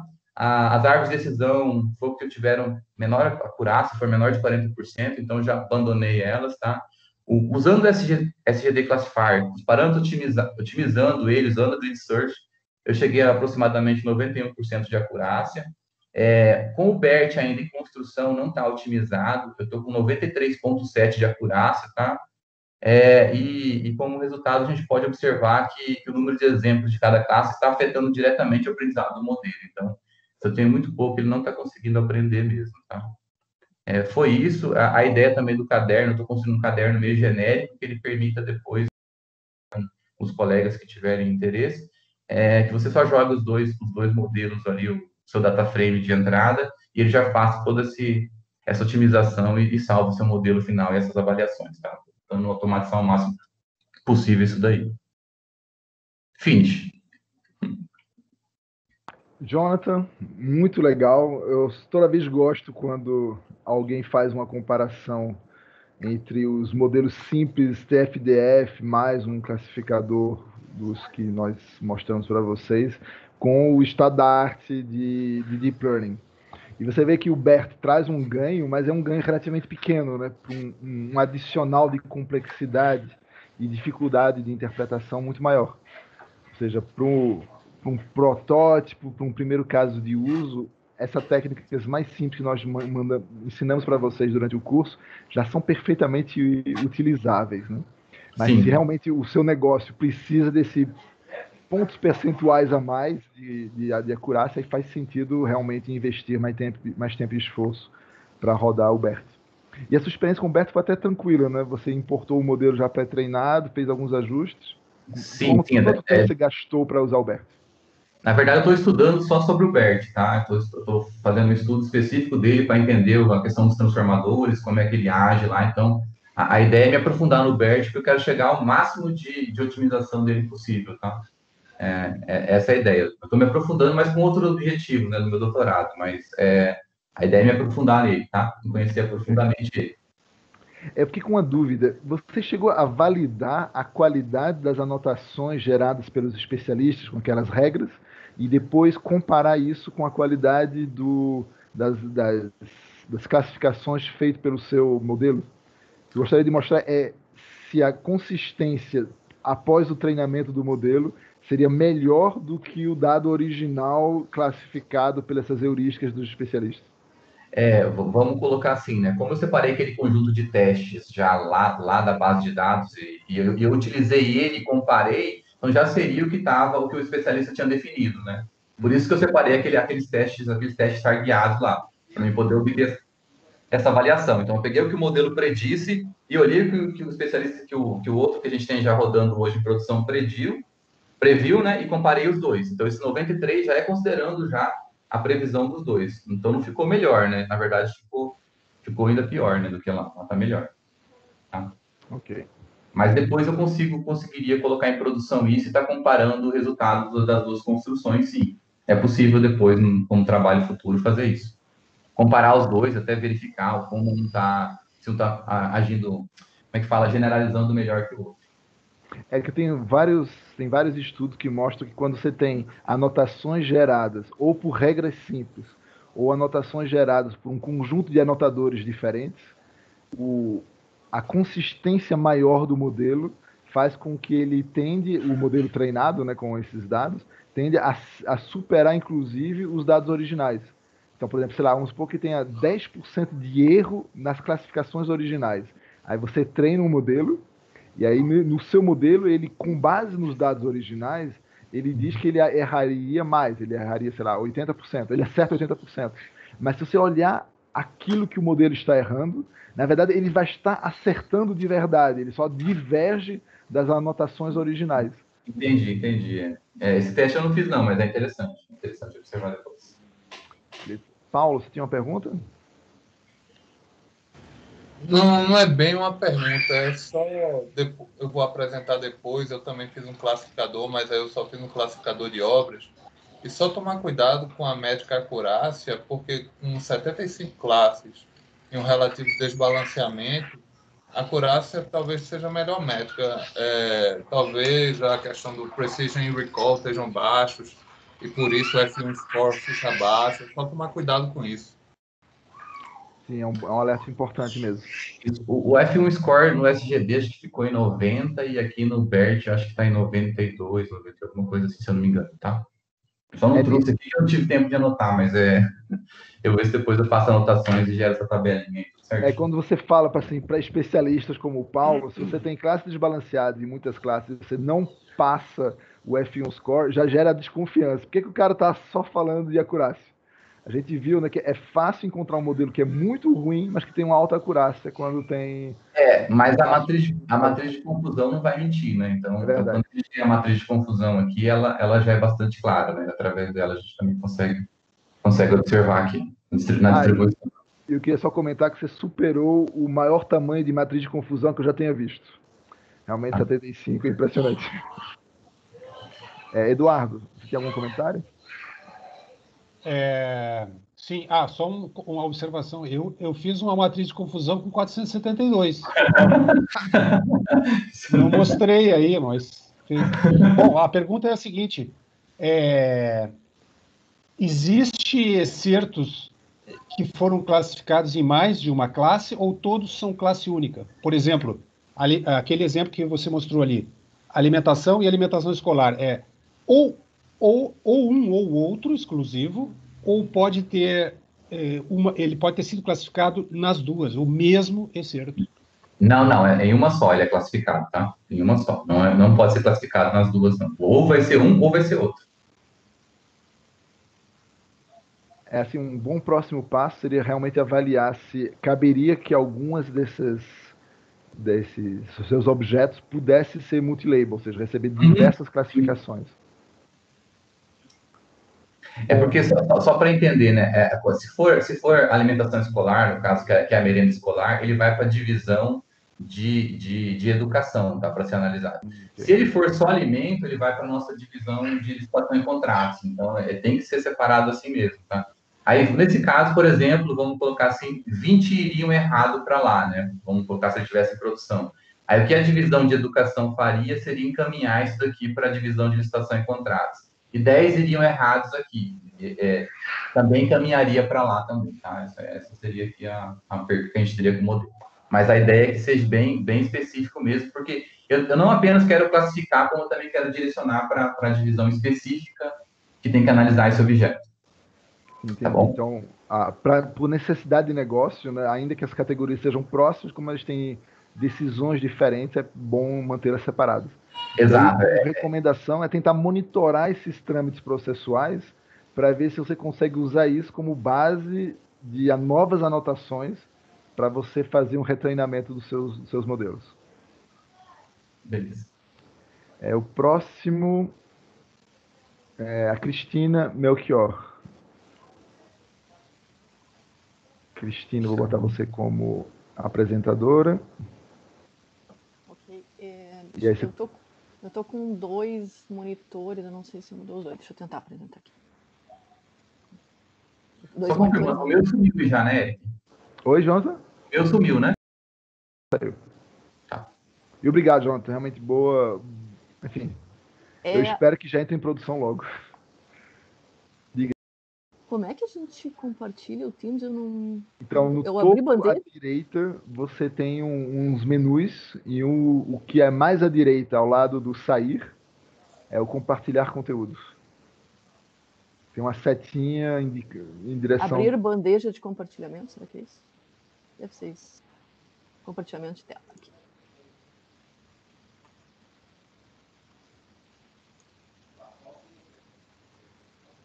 Desculpem, vou ver aqui o Teams não. Hum, mas não compartilhou. Peraí.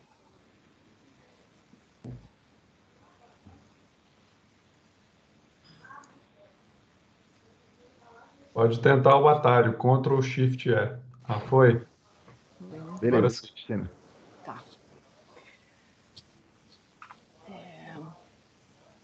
Bom, primeiro eu queria agradecer ao ao Eric, ao Fernando. Foi um ótimo curso, uma churrada de informações e de prática depois para a gente. Eu era quase 100% nova na área de machine learning, conheci muito pouquinho e foi uma bela uma prática assim.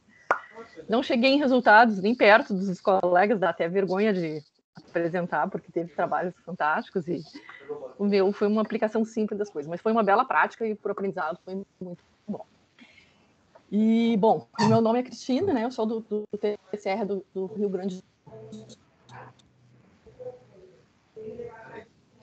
do Sul do elemento e do, da rubrica de despesa, que são informações Cristina, cortou muito o seu áudio. Eu vou botar todo mundo aqui em silencioso. Ativa de novo o seu microfone e continua, por favor. Cristina, não estou te ouvindo.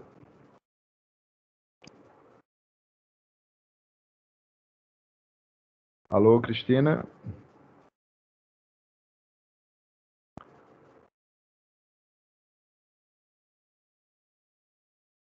Alô, Cristina?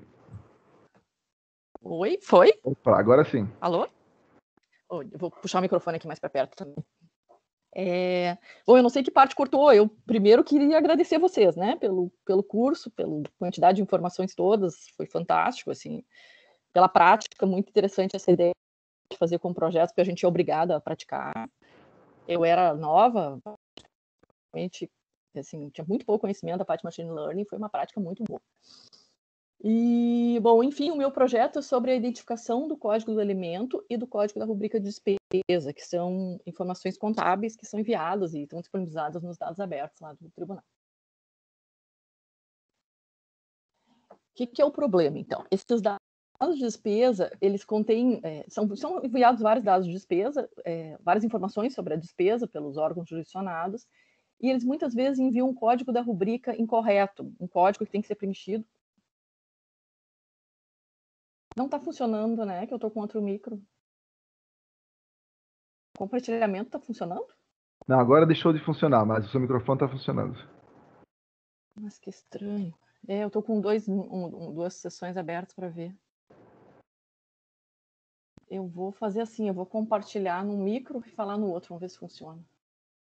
Esse note que eu estou compartilhando deu um problema antes também na apresentação. Como é que eu faço? Os colegas dos bastidores estão negociando aqui os compartilhamentos dos dados do, e dos modelos do Jonathan, do Tiago e do Paulo.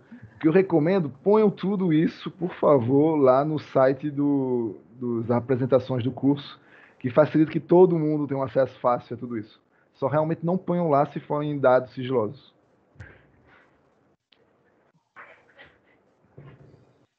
É, desculpa, eu vou tentar trocar e compartilhar no meu outro micro. Vamos ver se eu. Só que aqui acho que tu vai ter que me habilitar. Eu tenho duas Cristinas, duas ah. sessões, porque uma está num micro e outra está no notebook. Se tu puder me habilitar a outra, eu vou tentar Beleza. falar por um e apresentar pelo outro.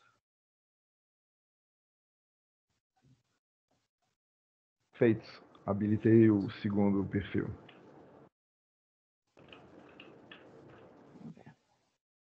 Desculpe. Fazer uma pergunta rápida aqui, Eric. O site do curso vai ficar disponível para sempre? Em princípio, sim. No fim, é, ele está toda uma infraestrutura gratuita. A minha intenção é, depois de ter consolidado o seu conteúdo, que por enquanto ele está numa infraestrutura que facilita que qualquer pessoa consiga adicionar novo conteúdo.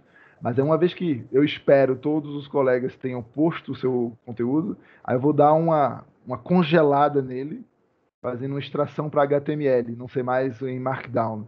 E aí bloquear a edição. E aí manter só comentários e coisas assim. E aí essa versão final seria meio que o, o legado do curso em termos de referências. E também vou botar também as referências das gravações das, das apresentações. Bom, mas desculpem, vou continuar aqui então. Esses dados, esse código da rubrica é um, um código que é, faz parte de, da informa das informações que são enviadas em cada despesa, e às vezes ele é preenchido incorreto. E, e uma análise manual desse código é custosa, e então uma migração para uma análise automática vai trazer uma série de benefícios. O objetivo, então, era classificar cada despesa no código do elemento, que é uma, uma uma parte inicial do código da rubrica e no código da rubrica completo, que tem um número de categorias muito maior. E isso é um protótipo, mais para analisar a viabilidade, é, na verdade, comparando com os outros, é o protótipo do protótipo, mas enfim, deu para avaliar bem, assim, foi muito interessante. E é, em virtude do, do, elevado número de códigos de rubrica que existem, eu, como escopo inicial, separei os, Ah, desculpem. Separei os, os, as despesas de natureza pessoal em cargos sociais, que iniciam com esse código 3.1. O, o essas informações contábeis, então, elas, ela, o código da rubrica é formado por 14 dígitos. Aqui tem dois exemplos. O código do elemento de despesa é, são os primeiros seis dígitos até aqui. E esses oito dígitos tem uma parte que é definida pelo próprio TCE, que os jurisdicionados devem seguir, e, e fica uma parte para codificação própria deles, que alguns utilizam, outros não. Mas para nossa análise, o que importa é a parte do TCE, então tem que identificar a parte do TCE aqui no meio. É, essa, essa área de negócio é nova para mim também, eu, na verdade, é, me familiarizei com ela um, um pouco para esse projeto, que foi uma sugestão dos colegas, né, quando saiu o curso, então, eu peço desculpas aqui se as, informações estão mais superficiais. Bom, a solução construída, então, foi utilizar um algoritmo de classificação do, de machine learning para é, classificar a despesa nesse código.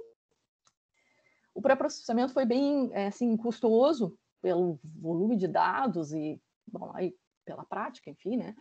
Primeiro, eu tive que fazer uma generalização do código da rubrica fornecido em função dessa parte que os jurisdicionados têm, que é uma codificação própria, que não interessa. Então, fui fazendo uma generalização até chegar na codificação indicada pelo TCE. Nesses dois exemplos aqui, nesse caso, o jurisdicionado tinha esses seis dígitos, que era codificação própria, e eu tinha que chegar nesse aqui, no caso desses, esse. Então, foi feito um tratamento cortando dígitos até chegar na parte do TCE e eh, chegar num código equivalente. Os códigos que eu não achei correspondente, eu inicialmente descartei e depois tem que retomar para ver se é algum erro de algoritmo, algum erro nos códigos informados, o que, que aconteceu.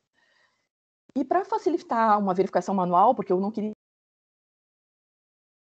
certeza dos códigos, né? Então eu fiz uma verificação eu mesmo, manual ali, a partir dos dados. Eu fiz uma correlação também com a tabela do, do tribunal para colocar a descrição do, da tabela do tribunal junto da descrição fornecida pelo jurisdicionado, que já facilita muito a análise manual da gente. Fiz a separação dos códigos com, do escopo inicial, 3.1, e dentre esses eu selecionei uma amostra de 3.500 para fazer uma verificação manual e fazer o treinamento. Essa amostra, é, 250 registros, eu fiquei em dúvida como classificava, é, ou é, se estavam mesmo com erro ou não, e eu descartei para fazer o treinamento, isso tem que depois retomar com os colegas da, da área de negócio, e fiquei com 3.250 registros, que, eu, que estavam corretos ou que foram corrigidos, né, a soma. E, e é importante, uma das dificuldades aqui, tem um número de categoria muito elevado, mesmo considerando só esse escopo anual. São 25 categorias do código de elemento, que são aqueles seis dígitos iniciais, e considerando todos os dígitos, são 161 categorias que tinham nessa amostra, já considerando as equivalentes TCE, sem, descartando a parte de seriam assim uma especialização, né, que as, os jurisdicionados informam. Já o código generalizado. Os experimentos que eu fiz, então, foi para o próprio código do elemento, que inicialmente eu estava pensando em tá só até o código do elemento, mas quando os resultados começaram a ficar bons, eu ataquei o código da rubrica mesmo, que era o objetivo. E utilizei Logistic Regression, o SGD, o SVM e o Random Forest. E eu misturei features categóricas e de texto curto. O, o texto, o, os textos com maior o campo texto maior comprimento foi um com 219 caracteres tinha e são vários campos de cada categoria. Outra característica aqui é que tem classes bem desbalanceadas. O código da rubrica, é, que são 161 categorias, né? A categoria que tinha mais tinha 47 e o código que tinha menos tinha 1. O código de elemento, desbalanceamento fica ainda maior, porque ele agrupa, alguns códigos de elemento agrupam um número maior de categorias, né? E quando eu fiz o sample, eu fiz pegando um sample dentro de cada código. Só que eu tinha alguns códigos que tinham, não tinham nem o número 10 de cada um que eu queria, né? Então, por isso ficaram tão pequeninos. Mas então tem uma com 700 e uma com 10. Aí na primeira tentativa eu fiz um oversample, um undersample, mas como o Eric comentou, eu, é bom saber que é um erro comum, mas eu pensava, eu não vou tirar meus dados fazendo um undersample muito grande. Eu primeiro joguei todos para 300, mais ou menos, uma coisa assim. Aí dava resultados super bons, eu fiquei super contente. Até que eu tirei a característica que eu sei que é a mais importante. E continuou bom. E eu me dei conta que estava errado. Né? E eu me dei conta que, na verdade, eu estava viciando o modelo, porque nos dados de teste tinham provavelmente amostras iguais aos dados de treino, e que aquilo ali não fazia tinha o menor valor. Eu cortei todos os oversample e sample e passei a utilizar só o class weight balanced por enquanto.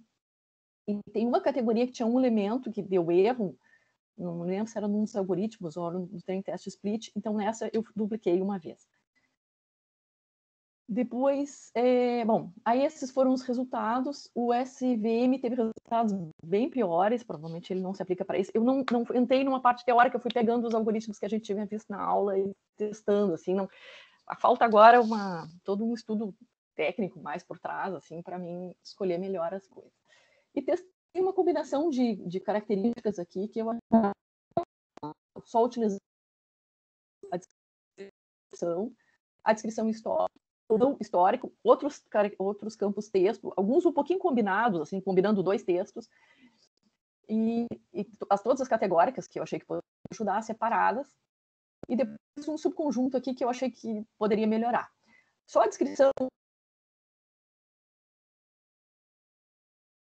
colocando as outras. Entre esses três, incluindo né, todas as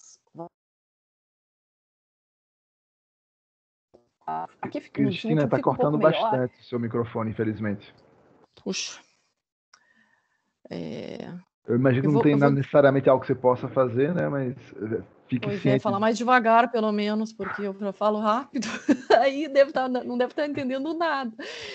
Vou começar de novo desse aqui, então, pelo menos. Tá okay. bem? Assim. É...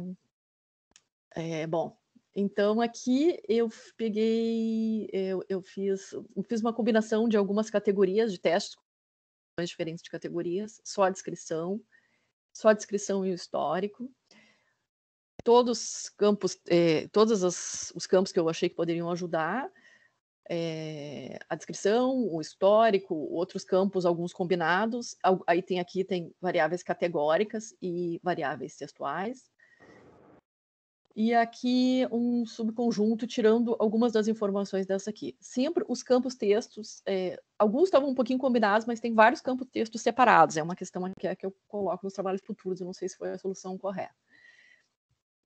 E aí, os, os três algoritmos que davam sempre os melhores resultados, só a descrição a gente vê que o resultado ficou pior. Entre esses três aqui, eu acho muito parecido, até porque eu não cheguei a testar uma combinação maior de hiperparâmetros ali. E a minha amostra é muito pequena perto do número de categorias também. Então, eu acho que esse, entre esses três eu tenho que trabalhar mais agora para chegar na conclusão qual seria melhor. E a classificação para o código do elemento deu resultados um pouco melhores, o que é esperado, porque é um número de categorias muito menor, né, mais fácil de classificar. O SGD deu disparado melhor. Eu utilizei um 8020 para o treino e teste. Aqui é uma matriz de confusão do código do elemento, que são aqueles que são 16 categorias. Dá para ver que se enquadra bem aqui na, na diagonal e tem alguns perdidos pelo canto. Esse aqui que é aquela classe que tinha mais ocorrências, eu verifiquei lá realmente no, no Y de teste tinha 156, ele colocou todas certas. A menor ele colocou as duas, mas depois eu me dei conta que essa aqui poderia ser até a que foi que teve oversampling, né? E esse ficou no teste, mas no treino ele ia acertar com certeza. Eu acabei não voltando para olhar a, terça, a segunda menor aqui. E aqui é uma de confusão com o 161, que não dá para enxergar nada. Ela gerou uns erros no final, eu nem tenho certeza até que ponto pode ter ferido aqui. Dá para ver que ele classifica melhor na diagonal, que tem um zoom perdidos por aqui. Mas isso aqui eu tenho que agora trabalhar melhor, tentar descartar a matriz de confusão. Aquela é muito interessante, eu gostei muito dela para olhar. Bom, e aí, como conclusão, eu vejo que é, a solução parece promissora para classificar o código, inclusive o código do, da rubrica, mesmo sendo as 161 categorias, ele conseguiu bem. Mas tem uma série de trabalhos futuros que tem que ser falados. Eu quero fazer uma discussão boa com os colegas para mostrando os resultados, que ainda não deu disponibilidade para fazer. Tenho que aumentar bastante os dados da amostra. E aí, aqui uma dificuldade é que tem que sair fazendo a verificação dos códigos fornecidos, porque eu também não quero treinar, eu acho que é muito arriscado treinar os dados com um código que pode estar errado. Até vocês podem dar uma opinião depois, sugestões e conselhos nisso, mas e então o que eu pensei em fazer foi utilizar esse modelo para fazer uma verificação inicial de mais um sample e fazer uma análise manual dos códigos divergentes e somar os dois e fazer um novo treinamento. Em relação às features, eu quero avaliar a combinação melhor daquelas features que já foram utilizadas para decidir entre aqueles conjuntos e também fazer é, uma é, verificar a importância das features de um modo mais técnico. Eu não conseguir aplicar aquelas funções que foram dadas em aula aqui, função do texto e as categóricas misturadas e pela disponibilidade de tempo eu acabei abortando. E também avaliar essa combinação de features de texto que eu fiz separadas, várias features de texto separadas. Eu não sei se isso é uma solução correta, se seria melhor juntar todas num texto único. Se faz diferença, talvez nem faça, pelo modo como é feito. Eu não, não entrei numa, num estudo técnico disso aqui eu quero analisar nos dados né, resultantes, né, o que, quais foram os erros e os acertos para tentar identificar algum feedback de o que, que o algoritmo estaria acertando e errando mais. As classes desbalanceadas, eu quero experimentar outros tratamentos melhores, ou eu, o que eu fiz foi, quando eu descobri o, o Class Weight Balanced, eu testei no Grid Search CV com non e com Balanced, mas eu, ele obviamente indicou balança, eu não cheguei nem a botar só o nono para ver o resultado e comparar, eu mesmo. Eu quero experimentar é, melhores hiperparâmetros ali nos classificadores, especialmente os de texto.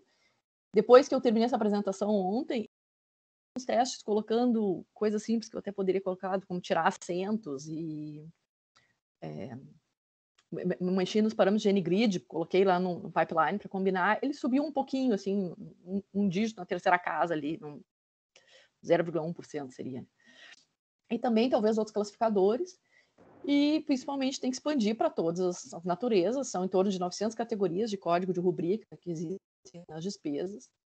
E aí aqui eu não sei se vai ser necessário fazer dois níveis de classificação, se o modelo consegue tratar tudo, então se, por exemplo, eu classifico nesses primeiros dois campos, que já dividem em, seis ou oito grupos, eu não me recordo, e seria um modelo para cada um, isso tudo tem que trabalhar melhor agora. Então é isso, desculpem a, a corrida, eu já falo rápido, falhando, deve ter sido um caos. E estou aberta aí a sugestões, críticas, dúvidas, o que for. Muito obrigado, Cristina. Bem interessante. Eu acho que você não deve assim, desmerecer o seu, o seu projeto. Ele foi bem interessante testou várias hipóteses. Os resultados já são muito bons. É, você enfatizou um momento a ideia de identificar qual era o melhor modelo. Isso não é necessariamente importante. Você pode tentar fazer um, testar um ensemble dos três, quatro, cinco melhores modelos e ver se esse ensemble supera to, todos eles, né? É uma outra. Ah, Para o pessoal que fica na dúvida, como é que eu escolho qual é o meu melhor modelo? Faz um ensemble, você resolve esse problema, você não vai precisar escolher um. Você embute os diversos. Certo. Bom. É, alguém teria alguma dúvida? Cristiano?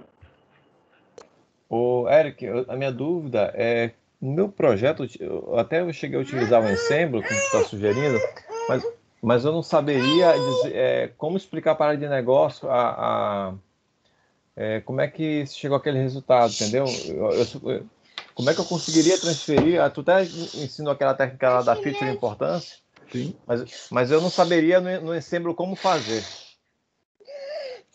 É, então, você pode fazer a feature importância tal qual no Ensemble, tratando o Ensemble como sendo um modelo único.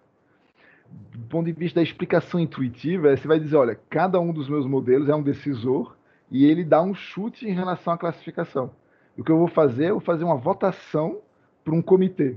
E aí, em vez de você ter um único, uma única opinião que pode ser a melhor de todas, mas eu vou ponderar essa melhor opinião com a de outros modelos. E aí, se o conjunto dos, sei lá, quatro ou cinco modelos ele for relativamente não correlacionado, em geral, eles vão divergir mais naquilo que estaria, sei lá, no, no que seria um overfit de um determinado modelo, ou aquilo que seria incerto, e eles vão convergir mais naquilo que é confiável. O, o resultado agregado do comitê é melhor do que, inclusive, o melhor deles. Enquanto é mais trabalhoso de... Vou dar um mute aqui, depois vocês tá podem ativar o, o som quando forem falar. Então, quando é de mais difícil então explicar para a área de negócio, né, o ensemble, mas eu acho que a forma é, é, é explicar essa. Você diz, olha, eu tenho um melhor modelo que acerta mais tais tais circunstâncias, tem um outro que é levemente inferior, que acerta mais nessas outras circunstâncias, mas aí quando você combina os dois, na média eles vão acertar mais, porque um meio que compensa as falhas do outro. Respondi a sua pergunta? Obrigado, Ed. Respondeu assim. Desculpa aqui também pelo, pelo som aqui. É... É, Eric, eu queria um, um, conselho numa questão. Aquelas features é, de texto que eu fiz separadas. Eu coloquei separadamente lá no pipeline, no Colo Transform, com todas as categóricas e várias de texto. Uhum. Isso é uma solução melhor fazer assim ou juntar todas? Concatenar com espaço, sei lá. Então você já deve, já deve ter uma ideia de qual vai ser a minha resposta, né? testar. Não, não, não existe uma solução óbvia, eu não fiz um. Não existe uma solução. Eu, eu fiquei com medo de estar fazendo um erro grosseiro aqui, para ser sincera, assim, mas então, então não foi. Tá, então... Os elementos básicos do trade-off. Se você tem vários elementos de texto, você trata cada um deles independentemente, você vai ter uma, uma quantidade gigantesca de colunas.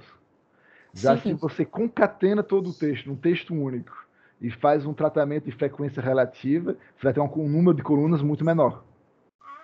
Então isso pode trazer uma certa vantagem. Ao mesmo tempo, você pode ter, por exemplo, aquela ementa que os colegas lá da Câmara e o, o, o Fernando tinham falado, que ela traz um, um, uma informação muito mais é, resumida. E aí talvez você dá um destaque para ele, um tratamento específico para a, a ementa, ou se o termo que você estava usando era início, era o céu azul, o céu azul, o céu azul. Ah, agora está imortalizado na gravação, o céu azul. Enfim, é, então, fundamentalmente, é por meio de experimentos, você vai realmente determinar se, em um caso concreto, com a sua subdivisão de dados, para aquela finalidade, qual é a melhor junção dos seus dados que gera o melhor resultado. Mas, se os resultados não forem muito diferentes, a minha sugestão é fazer o que o Fernando fez: junta tudo num texto só e faz um pipeline de extração dessas features de um único texto. A grande vantagem disso é que é muito mais simples e gera menos colunas. É, deve ser um desempenho bem melhor, né? Uhum. Embora o desempenho não foi, mas bem que o número é muito pequeno perto do número real. Certo, muito obrigada. É, parabéns, Cristina, assim, ótima apresentação e o, eu espero que o seu protótipo também convença os seus colegas de pôr isso em produção. Agora o próximo na apresentação é o Elton. Elton, você está aí? Sim, sim. Então, Posso lá, compartilhar a tela? Vai lá. Estamos com um certo atraso, mas assim, eu estou meio que resignado. O que eu vou dizer para vocês é que quando for por volta de meio-dia, tá todo mundo liberado e fica então quem tiver paixão é. pelo tema curiosidade pelas apresentações. Eu peço desculpa para os alunos, que, para os colegas que ficarão depois de meio-dia. Eu deveria ter trazido o início das apresentações para as 8 horas. Eu sempre sou muito otimista em relação à programação.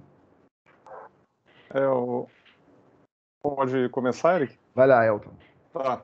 É, primeiro eu queria dar uma, tentar dar uma boa notícia, tá? Eu vou, era o primeiro aviso aqui, eu vou cronometrar o tempo aqui da apresentação e a ideia é levar exatamente 10 minutos ou menos, tá? É, para tanto, é, eu vou ligar o cronômetro, tá? É, para tanto, eu gostaria de pedir a compreensão dos colegas, então pergunta somente ao final. Ah, gostaria de parabenizar aí o, o, o, Eric e o Fernando aí pela, pelo excelente nível do curso, pela didática, pela presteza, pelo material, por toda a experiência vivida aí ao longo dessas semanas. Eu só tenho a agradecer, foi um período de muito aprendizado, tá? Agradecimento também ao meu orientador, ao Edans, né? É, não só pelo trabalho aí realizado durante o curso, mas durante toda a pós, né, que foi a base aí da, da do trabalho realizado nesse curso. Ah, o tema, né, é um classificador de textos de deliberações de acórdons acerca de pagamento de pessoal é, versando especificamente sobre suspensão de rubrica, tá? Eu vou explicar por que essa especificidade, tá? Porque o trabalho ele foi baseado, né, na, num pequeno recorte da monografia de pós-graduação realizada aí, é, finalizado, né, é, no ano passado, e da, da turma de análise de dados e para o controle. a, a ideia né, é que o trabalho contribua né, para o crescimento desse pequeno protótipo, como já é de costume a atribuição de nomes femininos, né? Eu acabei criando um, Amanda. Ah, é, essa é uma visão geral da, do protótipo que foi desenvolvido lá na, na especialização. Então, para o escopo do curso, né? Dá para ver a setinha aqui do mouse? Sim. Tá. É, então foi feito um pequeno recorte aqui em um módulo, que aí estaria relacionado ao modelo de aprendizagem supervisionada, e, e a intenção foi melhorar essa caixinha. Né? Então aqui nós temos uma parede com vários tijolos, e a ideia foi fazer um pequeno recorte nessa parede e aprimorar esse tijolo. Tá? Aqui é a continuação do, da arquitetura geral. Tá? É, a, a, parte que interessa ao curso, né? Então nós temos uma caixinha que está relacionada a um classificador. O objetivo geral aqui é identificar deliberações sobre pagamento, e aí sim foi lá o escopo lá da, da pós. É, é, dentro dessa objetivo, né? Um, um pré-requisito que a, a entrada do classificador depende uma por um modelo não supervisionado de clusterização é, hierárquica, baseado em clusterização hierárquica. Então, a, a, a lógica é basicamente essa. Dá para enxergar pelo menos a letrinha miúda? Vou aumentar aqui, tá? Então, os textos que aparecem de subitens de deliberações, eles acabam na clusterização sendo agrupados né, por afinidade sintática e aí sim o classificador passa a atuar. É, eu deixei aqui uma comparação tá, no final, que seria o escopo lá do TCC e o escopo do curso. Então, aqui houve uma, uma, uma série de oportunidades de melhoria que não foram é, realizadas né, na época do curso por uma questão de tempo. Né? A gente teve que estabelecer um recorte para poder finalizar o trabalho.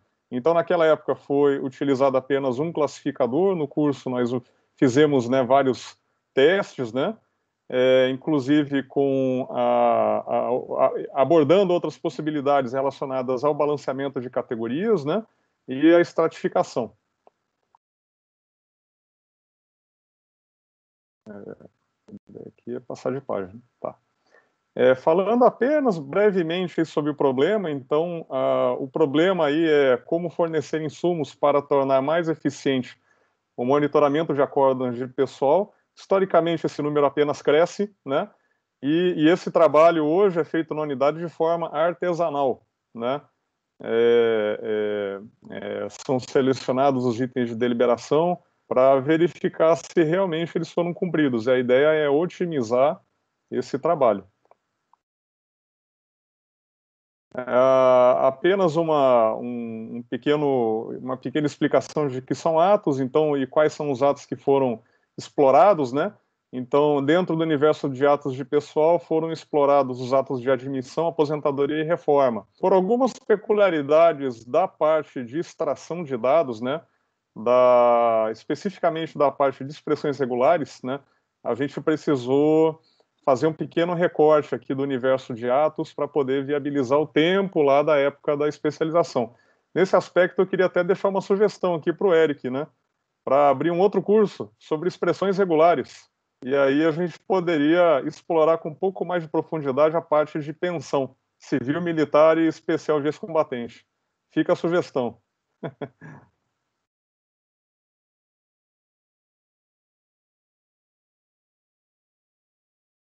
Vamos lá. É, quais as classes que agora entrando, né, no nosso na, no nosso trabalho? Então aqui tem do, existem duas disposições, né? Uma, é, houve um pequeno uma pequeno ajuste em relação ao trabalho que foi realizado lá no TCC, em que o objeto era identificar situações de suspensão total, né, de vencimentos. Então seria essa categoria aqui, o PS, né? É, pagamento suspensão total, né? Ah, no curso, aqui a, a, ideia foi mudar um pouquinho o objeto e trabalhar com essa situação aqui de pagamento rubrica, em que, em que ocorre aqui a suspensão parcial, né? É, então, o, os objetos mudaram e, e aí tivemos aqui um problema um pouquinho maior, né? em que as classes aqui elas ficaram um pouco mais desbalanceadas, né? Ah, como resultados, então, eu tirei alguns slides intermediários aqui a fim de compatibilizar com o nosso tempo. Então, é, se houver, por, porventura, alguma lacuna ou alguma curiosidade ou alguma dúvida em relação à apresentação, né? A, a intenção foi adequar a apresentação ao tempo disponível o scope está focado no recorte aí do, do curso, né? É, então, toda a parte lá de TCC está... Tá... Desculpa. É, já foi explorado, né? Já foi avaliado pela banca. E caso haja alguma dúvida, eu estou aqui à disposição para falar um pouco mais a respeito, né? E fico à disposição para para compartilhar com os colegas, tá?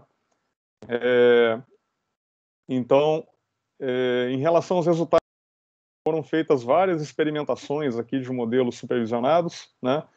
É, com diferentes resultados. É, o que chama atenção aqui de início é que, ah, principalmente em, que, ah, em situações em que as categorias estão muito desbalanceadas, né? Então há aqui a necessidade, né, de balanceamento, né? No caso foi utilizado oversampling e, e isso acaba é, é, acabou gerando, né, no, no, no, durante os experimentos, né, uma melhora expressiva, né, principalmente na, na homogeneização dos resultados apresentados entre as categorias. Né? No caso aqui em particular, dentro dessas diferentes combinações, é, verificou-se que o Random Forest ele se mostrou um pouco, é, ele se mostrou melhor, né? Foram, foi utilizado também o, o dentro da bancada de testes, né, o SVM e mantido o Navy Base. Ah, ah, além disso, por razões triviais, né, manteve-se a estratégia de balancear as categorias ao longo de toda a experimentação.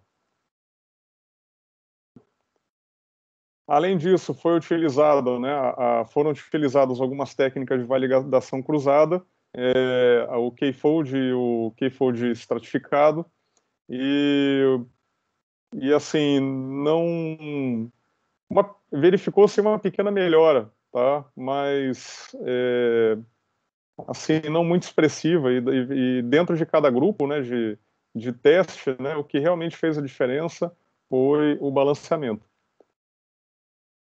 Ah, apenas aqui uma, uma das matrizes de confusão, né? Eu diria que é a situação aqui mais extrema, né? Em que nós temos aqui de um lado, né? Uma matriz de confusão utilizando, é, não utilizando, aliás, o, o oversampling, né? E no outro caso mais extremo, né? O melhor resultado encontrado utilizando o random forest e aí sim com balanceamento de classes. Então aqui o, o resultado ele é ele é gritante, né? É, apenas voltando aqui na, fazendo um, um link, né, com, em, é, em relação à tabela. Então, mesmo que haja, por exemplo, um resultado muito bom para uma categoria que não se, que não é a categoria alvo, né? Por outro eu tenho o revés da categoria minoritária, que é a categoria é, a, a, a, ser explorada, né? E aí, mesmo que o resultado final seja até bom, mas nós temos aqui para a nossa classe de interesse né, um resultado muito ruim, certo? Ah, além disso, durante o trabalho, né, houve oportunidades de explorar né, algumas nuances né, da, do, do, do, universo Python. Uma delas foi essa biblioteca que eu achei muito bacana e que eu acabei encontrando de uma forma incidental. É, 10h30, Eric, me dá, me dá um minuto e meio? Tá, 12 minutos. É, eu acabei encontrando de forma incidental para facilitar esse trabalho de depuração. Aqui a estratégia foi utilizar o um modelo de colegiado, tá? Eu vou aumentar aqui para facilitar, ó. Então aqui, ó, o, a partir do rótulo obtido por cada é, classificador, a intenção foi criar aqui um semáforo, né? Em que se os três falarem a mesma coisa, eu tenho aqui uh, um veredito, né? Ou seja, se as opiniões foram iguais, eu tenho aqui um veredito final, né, correspondendo à sinalização que foi atribuída pelos três. Existe, eh, foi verificada a situação, né, de decisão dividida, né, em que dois falaram uma coisa e o outro falou outra coisa. E aí nós temos aqui a bola dividida. Né, e nesse caso foi utilizado o critério da maioria, tá? É, é, esses coloridinhos, né, toda, toda a formatação de filtros e, e até a formatação de colunas e cores, isso foi tudo feito pelo Python. Então a planilha foi exportada já com essa formatação. E isso facilitou bastante o entendimento visual e a interpretação né, do que estava, do que o modelo estava gerando. É, outra função que é, eu acabei criando também por uma questão incidental para facilitar a depuração foi uma funçãozinha para fazer né, a impressão do data frame. Então, aqui apenas um exemplo, uma etapa preliminar de utilizando lá o oversampling, né, em que a, a massa né, é relacionada a, a os dados de validação e teste, né, eles sofreram aí o balanceamento e aí sim nós tivemos aqui ó, um, ó, valores né, iguais, né, na validação, nos dados de validação e teste. Então, isso facilitou bastante o entendimento né, do que estava ocorrendo dentro do código. É, próximos passos. Então, aqui, o próximo passo é, poderia a, a efetividade né, do modelo supervisionado, mas durante essa, esse entendimento dos dados aqui, utilizando a planilha colorida, eu enxerguei uma oportunidade de melhoria dentro do, do classificador não supervisionado. Por quê? Porque a ideia, a estratégia inicial foi estabelecer aqui um classificador bastante restritivo, né? É, contudo, ele apresenta como um resultado, é, um resultado, né, muitos clusters parecidos e que, aliás, muitos elementos, né, agrupados em clusters grandes e, na, e inicialmente isso faz todo sentido porque dentro do universo das deliberações de atos os textos são muito homogêneos, né? Mas existem alguns clusters aqui, eu citei o cluster 8 como exemplo, que ele tem aqui ó, algumas nuances. Então, ó, aqui, por exemplo, ó, aqui uma situação de cesse os pagamentos decorrentes da rúbrica tal, tal, tal, tal, tal, tal, tal. E aí os três classificadores decidiram de forma igualitária. Mas no mesmo cluster houve uma situação um pouco, é, uma situação um pouco mais vaga, né? Cesse os pagamentos decorrentes do ato impugnado. Aí a questão é saber se esse ato impugnado é, é o que, que é o, qual é o ato, né? Ele é apenas uma rúbrica, ele é uma suspensão total, e por alguma razão, né, a, esse, essas duas informações permaneceram no mesmo cluster, no cluster 8. Então a ideia é deixar esse clusterizador um pouco mais exigente, né, ele já estava exigente, então a, a ideia é quebrar um pouco mais esse. É, é aumentar a exigência da clusterização para que realmente esses clusters, eh, esses elementos apareçam em clusters diferentes, e aí nós temos aqui mais um elemento de decisão, ou seja, além do colegiado, né, a possibilidade de adotar algum critério relacionado ao cluster, e de preferência aqui, né, se houver a possibilidade, é se realmente né, essa decisão, essa decisão de, for dividida, né, aí sim, a partir dos demais elementos relacionados ao mesmo cluster, eu teria mais uma camada de decisão envolvida tá? Então esse seria o próximo passo. É, aqui, a, para homenagear o instrutor, né, a árvore de decisão. e por fim, agradeço a todos. 15 minutos, Eric, eu peço desculpas aí pelo, pelo atraso e agradeço a todos, agradeço ao curso aí, obrigado aí aos professores.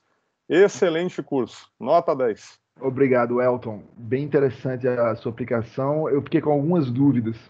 Sim. É, você não chegou a testar o undersampling da classe majoritária, não é isso? Não, não testei, não. Ah, eu vou fazer agora um apartado, uma pergunta para toda a turma. Alguém aqui chegou a fazer um teste de undersampling da classe majoritária para balancear as suas classes? Eu, eu, eu, fiz. Eu fiz. Eu fiz também. Eduardo, fiz. Se ainda forem apresentar. Eu fiz também. Ah, beleza. Obrigado, porque assim, dá um certo desespero quando as pessoas não fazem o primeiro passo mais simples, que é o undersampling. Aí dá a impressão que eu não passei isso direito na, durante a aula. E eu fiz é. misto também. É, um pouquinho de. Tira de um e aumenta de outro. É. Beleza. É porque quando uma é muito menor, não tem como fazer, né, Eric? Desculpa, eu interrompi, não. Não, se ela for muito, muito menor, aí a minha sugestão é descarta a classe, porque ela já está, ela é tão pequena que ela pode não ser detectada dessa forma com com as classes tão desbalanceadas. É, eu, eu queria só fazer um comentário em relação a isso, Eric, que realmente assim, eu tinha umas classes muito pequenas e eu pensei que quando eu fosse fazer o, o, o oversampling dessas classes, eu ia acabar repetindo no, no, teste as mesmas classes que estariam no treinamento. Né? Então eu tinha que diminuir o tamanho da classe, separar e duplicar eu achei que ficaria realmente muito muito viciado e eu fiz foi o que você sugeriu, descartar. Beleza. É, é. No caso no caso aqui da, do, do, modelo, é um detalhe que me chamou a atenção em não usar o undersampling, né? É, primeiro foi o corte, eu, eu testei o, o, o oversampling estava dando um bom resultado, então eu, eu priorizei a variação da, dos modelos né, supervisionados. Uhum. E, além disso, uh, eu já, já estava com o sentimento de que o K poderia ser útil para o, o melhoramento da arquitetura como um todo. Então, foi por essa razão que isso acabou reforçando né, a ideia de não descartar classes. Você quer dar um pouquinho mais de detalhes sobre o seu uso do Smote? Como é que você conseguiu usar o Smote para gerar novos dados sintéticos? E que tipo de combinação foi gerada e o quão diferentes os dados sintéticos são dos dados originais? Olha, eu vou ser bem sincero, Eric. Uh, no, no, TCC eu fiz um, uh, um, eu utilizei o oversampling, mas fiz a, eu fiz um, um, adotei uma estratégia parecida com a do Drauzio, né? Foi um oversampling simples com a com a replicação dos dados, né? E ali, né, eu já observei que havia uma oportunidade de melhoria para aplicação aqui no curso, né? E e aí na hora de é, utilizar uma outra estratégia, né, eu encontrei esse, essa técnica, apliquei, funcionou, foi o famoso acrescente uma linha de código, certo. e eu vi eu... que funcionou e toquei o barco. Você usou o Smoke como uma caixa preta, né? Você não sabe Exatamente. Como não, eu vi que o resultado estava muito bom de cara, e aí eu comecei a tatear o K. E aí não houve tempo aqui na, da, no tempo do, do no tempo do nosso curso aqui para concluir uh, como que o K poderia ser feito, poderia ser trabalhado para melhorar o resultado final. Mas como se trata aí de um modelo não supervisionado e também é, não está no escopo do curso, então eu acabei é, despendendo um tempo, né, que seria dedicado ao modelo, né, o modelo de uma forma geral. E aí fica outra sugestão, Eric, de abrir um curso para tratando aí de modelos não supervisionados. Sem dúvida, sem dúvida. É. É, um, é, uma, é uma das coisas que mais faz falta no nosso curso atual, é que ao focar muito em supervisionado, que gera bons resultados, uhum. às vezes gera uma barreira de entrada para quem não tenha boas anotações, né? E realmente Com certeza. não supervisionado seria muito útil. Pois é, e, e nesse sentido, a, a, eu acabei, até a planilha, né, acabou ficando com, com aquela cara, né, ela já, já, as colunas, né, elas foram acrescidas, né, já com uma, é, enxergando essa possibilidade, né, do K poder, poder fazer parte, né, do, do processo decisório. Mas aí quando eu, eu vi que não, não haveria tempo, né, hábil para concluir essa etapa dentro do, do, do, escopo do nosso curso, aí é, eu acabei fazendo uma linha de corte, mais uma preparação aqui para o que poderia vir, né, como uma próxima etapa. É, se você usa um pipeline com column transformer e você traz esse K diretamente para o modelo, em tese deveria melhorar a qualidade também. Exatamente. Beleza, obrigado, Elton. O próximo agora é o Daniel Oliveira Simões. Daniel, você está aí? Estou pronto aqui. Bom dia. Então, pode começar, Daniel. Bom dia. Também vou colocar o, cronômetro aqui do meu lado para ver se eu me adequo aos oito minutos que eu planejei compartilhar a tela aqui.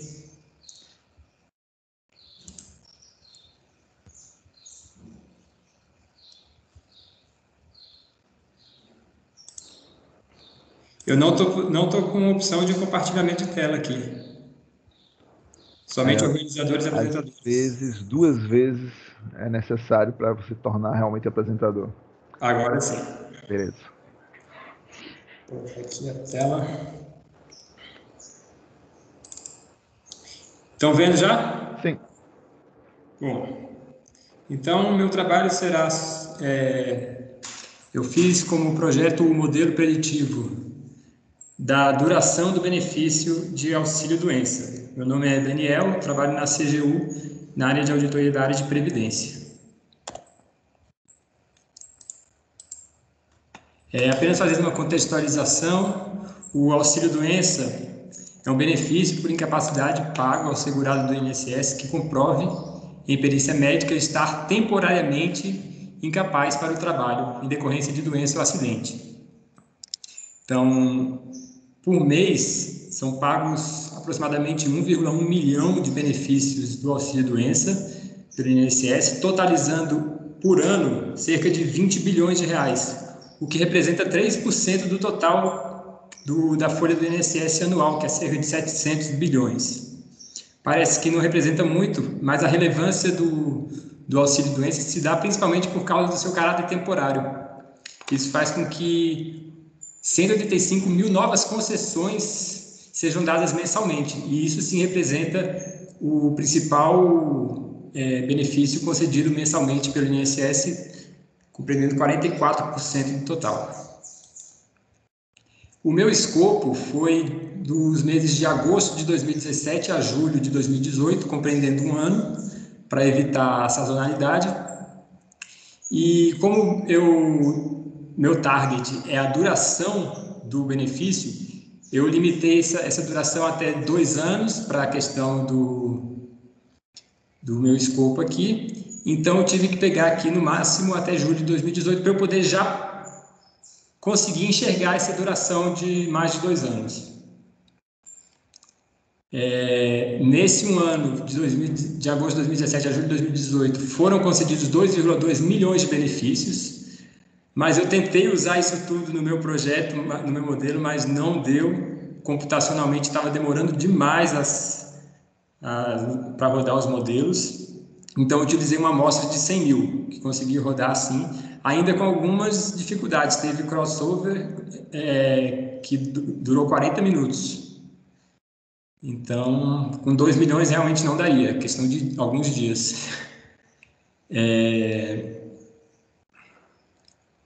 e, mas eu, eu consegui rodar ainda com os 2 milhões os modelos de, de regressão logística e árvore de decisão, que eram mais leves, e eu percebi que a diferença do, da acurácia era muito pequena, só na terceira casa decimal. Então, não teve prejuízo dessa utilização da amostra de 100 mil. É, aqui está o gráfico da duração por mês dos, desses 2,2 milhões de benefícios. Cerca de um terço deles dura até um mês, outro um terço dura dois a três meses e vai diminuindo mês a mês. Você vê aqui até 24 meses eu estou usando até 24 e essa última coluna aqui ela representa na verdade todo o resto da cauda empilhada, representa 25 ou mais meses. E o que, que eu quero responder com minha com meu modelo aqui? Minha questão era: será que é possível criar um modelo preditivo que consiga dizer, com um bom grau de confiança, de acordo com as informações que eu já tenho no momento da concessão, que aquele, aquele auxílio-doença vai durar mais que 12 meses e 24 meses. Eu acho que são questões que o INSS pode, é, se ele tiver essa resposta com alguma confiança, ele pode gerar algum procedimento diferenciado, seja na perícia, seja no administrativo, em relação a alguns, alguns auxílios-doença, de acordo com, com as informações que ele tiver. Daqui a gente já vê que o, o nosso, nossas classes vão estar bem desbalanceadas, porque 12. Então, a grande maioria vai estar com o meu target zero. Ele não, não durou mais que 12 meses. E para o 24 meses ainda maior ainda, que só vai ser essa coluna aqui, além de 24 meses. É a questão de balanceamento, vocês estavam conversando aí agora há pouco, eu utilizei inicialmente o undersampling e, oh, e, e deu um resultado. Ah, primeiro de tudo eu fiz sem, sem nenhum. Sem nenhum. Todo desbalanceado e o resultado deu muito bom, uma acurácia de 94%. Quando eu fui ver a árvore de decisões, ele chutou tudo no, no zero e, e nada no um. Então, eu tinha que balancear realmente. Aí eu utilizei primeiro o undersampling, o resultado ficou razoável, cerca de 50%, e depois eu usei o Smolt, e o Smolt melhorou consideravelmente o, a minha acurácia e o meu resultado, em relação ao undersampling. É, as features que eu escolhi, inicialmente no, no banco de dados que a gente recebe da DataPrev, tem 127 colunas das informações das concessões do INSS. Aí eu fiz uma escolha manual mesmo, tanto vendo questão de anonimização, para não pegar dado que identifique o beneficiário, tanto por questão de achar que tem alguma interferência com a duração. Escolhi 22 colunas, 10 categóricas, 11 datas e um numérico, que é o valor do benefício. No meu pré-processamento, eu transformei essas datas, 11 datas. Eu peguei uma como parâmetro, que é a e as outras 10, eu calculei a diferença dela para esse parâmetro. Então, eu calculei aqui 10 idades, sendo que uma idade aqui mesmo é a, em relação à data de nascimento do beneficiário, que é a própria idade do beneficiário, está em anos. As demais, como são datas mais próximas da data do despacho, eu calculei em meses.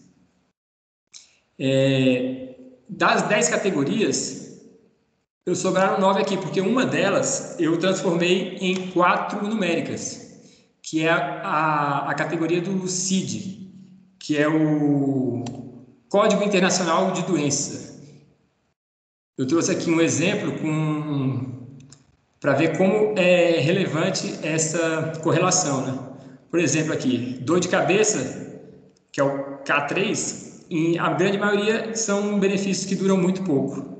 Traumatismos no punho e na mão, traumatismos na perna, traumatismos na coluna, que são os mais comuns, ficam aí no meio. E o câncer de mama, que também é um relativamente comum e tem uma duração média bem mais alta. Então eu peguei, o código geralmente vem numa letra e dois e três números. Eu passei para os dois primeiros caracteres e o primeiro caractere.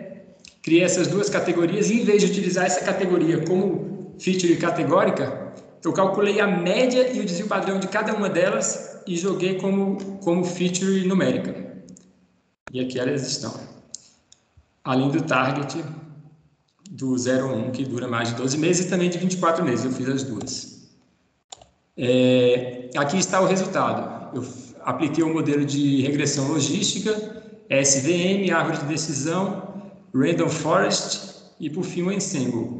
É, de cara, a gente já vê que árvore de decisão e Random Forest tem o, a acurácia mais alta, bem mais alta que SVM.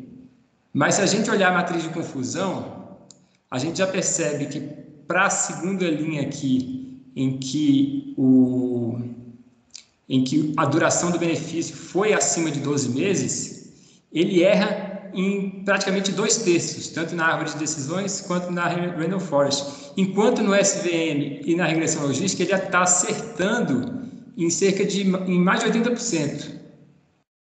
Então, você vê aí que a acurácia não significa muita coisa nesse caso o árvore de decisão e a floresta aleatória, eles conseguiram diminuir consideravelmente os falsos negativos, falsos positivos, desculpa, e o, o SVM e regressão logística conseguiu diminuir consideravelmente os falsos negativos. Como o, a classe é bastante desbalanceada, quem reduziu os falsos positivos, teve uma acurácia mais alta, mas isso não, não significa que é melhor. Vendo esse resultado dessa forma, eu achei que o Ensemble ia pegar o melhor de cada um deles e chegar no resultado melhor, só que eu acho que ele não foi capaz de fazer isso. Eu utilizei o Voting Classifier, não sei se talvez uma outra forma de fazer o Ensemble poderia ter um resultado melhor, mas não, não melhorou muito, continuou com é, errando mais na quando dura mais que 12 meses e pior ainda o resultado quando dura mais de 24 meses, que no geral está bem parecido. Aqui a gente é, marcando aqui, né, as é, falsos negativos diminuídos e os falsos positivos diminuídos. Então, por fim, minhas considerações finais, eu percebi nesse trabalho a importância do balanceamento, né, a utilização do SMOT melhorou muito, a importância da análise da matriz de confusão é essencial, só a acurácia não, não diz nada. E a importância do poder computacional, né? De eu com os meus 2 milhões ali fica muito difícil fazer. É, e aqui algumas é, melhorias possíveis, né, que eu não fiz, mas que eu poderia posso fazer ainda no futuro. Análise da importância de cada feature, que era uma ideia que eu tinha de fazer no começo, mas não deu tempo, não deu para abordar essa parte. Otimização dos parâmetros, também não mexi com isso, seria interessante. E a utilização melhor do Ensemble, que eu acho que talvez de uma outra forma poderia dar um resultado melhor. Agradeço aí a todos, ao Eric, ao Fernando. Esse foi um curso muito bom, aprendi bastante. Obrigado. Daniel, obrigado pela apresentação. É, eu gostaria de destacar na sua, no seu projeto algo que não sei se ficou claro para todo mundo. Né? O quanto o Daniel conseguiu agregar de valor para o dataset dele, que é um dataset relativamente simples, né? Originalmente são três colunas, né? O código CID, e a duração do, do, do auxílio doença e mais, acho que só isso, basicamente são duas colunas originais, né? E aí você fez uma série de feature engineering para conseguir extrair mais significado, mais semântica e tornar isso mais acessível para o seu algoritmo. Aí você fez essa subdivisão do CID em diversos patamares para ajudar o algoritmo a identificar esses elementos hierárquicos né, no CID. E depois você criou uma série de, de features derivadas de prazos. E isso acho que também foi significativo para o seu ganho de desempenho. E aí eu acho isso aqui deve ser destacado desse, desse projeto. Né? Ainda que os seus dados originalmente pareçam simples, duas colunas de dados, você consegue extrair muitas informações derivadas desses dados e isso pode ajudar bastante o seu processo de modeliza modelização. É, outra coisa que eu gostaria de destacar do que o Daniel fez foi essa forma de codificar os dados categóricos. Que eu tinha mostrado para vocês fundamentalmente o, o, a codificação ordinal, se as suas categorias seguiam mais ou menos uma ordem, né? e o one-hot encoder. E ele usa uma outra forma de codificação que é extremamente útil nesse caso, que ele pegou cada grupo correspondente a uma categoria e em vez de botar um número qualquer para essa categoria, ele botou o substituto numérico para a categoria, o valor médio da variável target para aquela categoria e o desvio padrão para aquela categoria.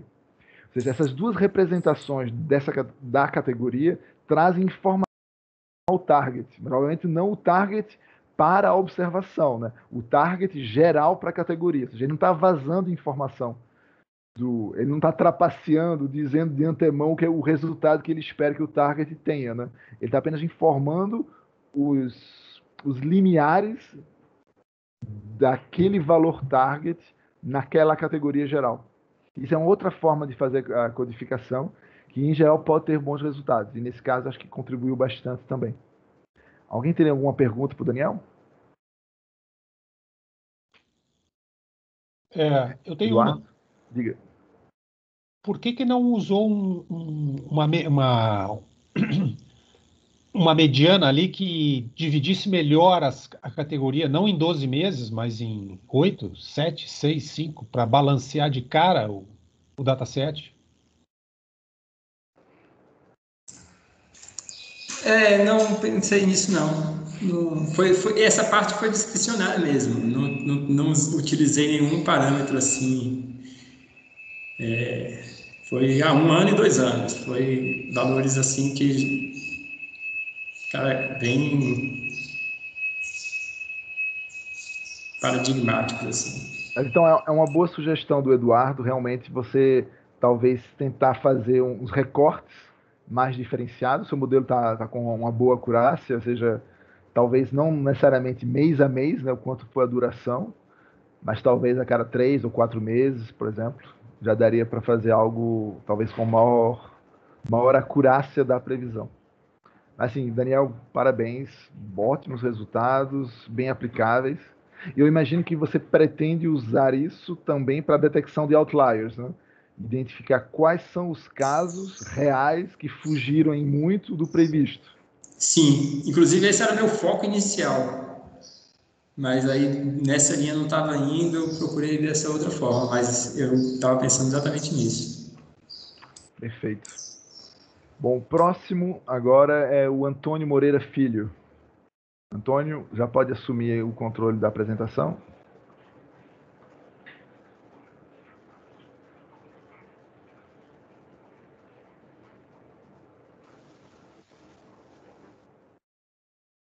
Estou me obrigando aqui a ser um pouquinho mais curto nas minhas perguntas. É, dói, mas por limite de tempo.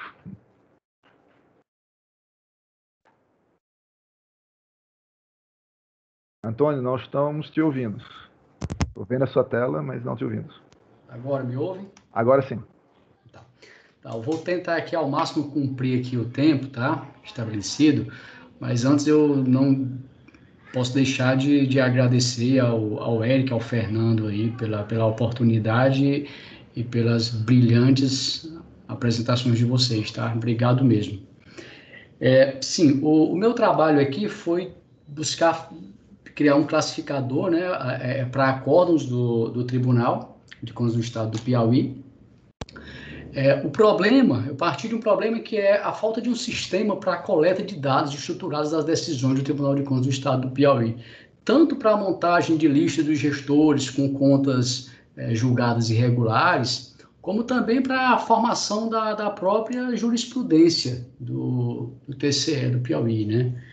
É, para enviar a, a, lista ao TRE, por exemplo, a nossa Secretaria das Sessões, ela mantém uma planilha em Excel antiga, que é atualizada todo ano de eleição. E é, é, para a consulta de jurisprudência, a gente não tem, não tem uma consulta de jurisprudência. O que tem, no máximo, é um, são boletins de jurisprudência que são disponibilizados no, no, site do tribunal em formato PDF e passaram a ser disponibilizados com regularidade a partir de, de 2018. Tá? É... Pois é, porém, é, é, esse problema de uma falta de, de, de sistema de pedir consulta de jurisprudência não é exclusividade do, do TCE do Piauí, né? A gente pode ver aqui um, uma pesquisa de, de, mestrado de uma colega do TCE de Minas Gerais de 2017, que ela diz que na análise de site de tribunais de contas, observa-se que a maior parte deles carece de ferramentas de pesquisa de jurisprudência por assunto. Na verdade, muitos não têm nada nesse sentido. Né? Então, assim, é um problema comum a, muitos dos, dos, tribunais de contas no Brasil. É, então, o, o, objetivo foi treinar um modelo preditivo, né, com aprendizagem supervisionada, que seja capaz de classificar os acordos e pareceres com acurácia mínima de 90%, foi um, um, uma métrica pensada e um patamar também almejado. E, porém, a, a, a, expectativa inicial era de trabalhar, inclusive foi esse o, o projeto que eu, que eu coloquei lá na, na, na, na minha proposta, que era trabalhar para classificar a, as decisões para a formação da lista do TRE né, extraindo o resultado dos julgamentos. Mas, infelizmente, não foi possível né, trabalhar com esses dados porque é, é, a gente teve o problema do, dos dados. A gente conseguiu até, de forma otimista, conseguiu pegar esses dados da, a partir da, das planilhas, a gente foi é, corrigindo os problemas que iam, que iam aparecendo, dá para ver aí que tem resultado aí de, de, de vários, de várias formas, né? É, só que quando a gente pegou o, o tentou fazer um, relacionamento entre esses dados da lista do, da, do TRE com os PDFs, com, com os acordos dos PDFs que a gente extraiu lá do, do nosso processo sistema de processo eletrônico, a gente viu que dos 2.300 itens da, da, da lista, apenas 1.700, é, desses 1.708 a gente não conseguiu localizar no sistema de processo eletrônico, tá? Por problema mesmo de digitação de dados na planilha. A gente pegou é, é, esse, esses dados aí que estavam, que a gente não conseguiu relacionar, passou, devolveu isso para o especialista de domínio e eles fizeram um trabalho para a correção desses dados e na, na segunda remessa que nos fizeram, o número já caiu de 1.708 para 1.089, já melhorou bastante aí a, a qualidade do, dos dados, né? É, então, assim, a gente vê que é, eu optei por abandonar a ideia de trabalhar com, com a lista do TRE, mas eu vi que o trabalho tinha sido, de certa forma, exitoso, porque forçou o pessoal a tentar melhorar o dado. Inclusive, é, é, esse trabalho está sendo continuado, o dado está sendo, tá sendo corrigido, para a gente tentar depois sistematizar realmente o sistema para a geração dessa lista. Em função disso, a gente foi atrás de uma outra ideia, o que, que poderia fazer. Então, partindo daí, a gente optou por classificar os acórdons por área temática. Tá? Não daria para trabalhar com a lista. Surgiu um outro problema, né? E, e, a, e os dados rotulados? não tínhamos esses dados rotulados, tínhamos apenas os dados lá dos, dos, do, do, do slides dos PDFs. Uma solu a solução encontrada foi ir atrás dos boletins de jurisprudência. Eles estão disponíveis no, no, no, no site do Tribunal do TCE em formato PDF. Aí a gente teve que pegar e fazer um trabalho para extrair é, os dados a partir desses PDFs. Conseguimos fazer a, a extração, esses foram o, o, os atributos extraídos a, a partir desses, desses PDFs. Após isso, a gente partiu para a análise exploratória desses dados e aí vendo aí por a, a, a, distribuição por mês do boletim de jurisprudência, até, tem até uma curiosidade, né? A gente vê que as sessões plenárias virtuais estão fazendo bem ao TCE do Piauí. A gente vê que nos últimos anos, nos últimos meses aqui, é, o número de, de acórdãos é, julgados, né, o número de acórdãos publicados cresceu bastante, tá? E depois disso a gente partiu para né, extração, para continuando a análise dos dados, a gente viu que a gente conseguiu recuperar 680 registros distribuídos em 25 classes, certo? E a gente fez também uma, uma distribuição de frequência e o ranking dessas classes para ver como era que estava a distribuição. E dá para perceber aí que as 10 primeiras classes correspondem a 85% dos exemplos, né? E é, é, tem muita classe com, com poucos registros, tanto é que tem aqui, ó, se for ver tributação, patrimônio tem apenas um registro.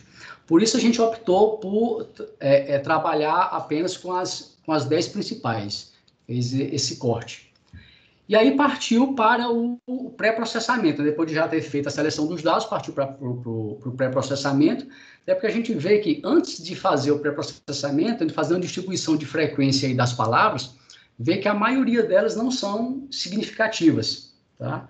Então, fizemos aí a, a, a normalização, remoção de, de acentos, convertemos todas para, para minúsculo, removemos as stop words. Primeiro a gente removeu usando NLTK, depois é, é, utilizamos uma outra de um pacote PyP que tem lá de, de stop words, teve um, um, um, melhor resultado, e fizemos a, a lematização também usando o SPICE, né, SPACE.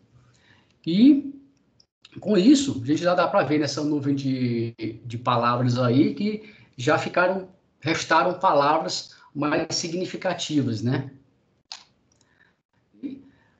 Depois disso, partimos para o treinamento do modelo. A gente testou os algoritmos, o, SD, o SGD, que o, o, o, testamos também regressão logística e árvore de, de decisão, usando como, como exemplo aquele caderno disponibilizado pelo Fernando, né? Que aí com isso a gente empregou o, o Grid Search para fazer teste com vários hiperparâmetros nesses, nesses algoritmos, fez também o, o, o usou também o, o cross-validation e também uma variação nos dados. A gente testou é, é primeiro como, qual seria o, como seria o desempenho com os dados sem normalização e depois dos dados normalizados.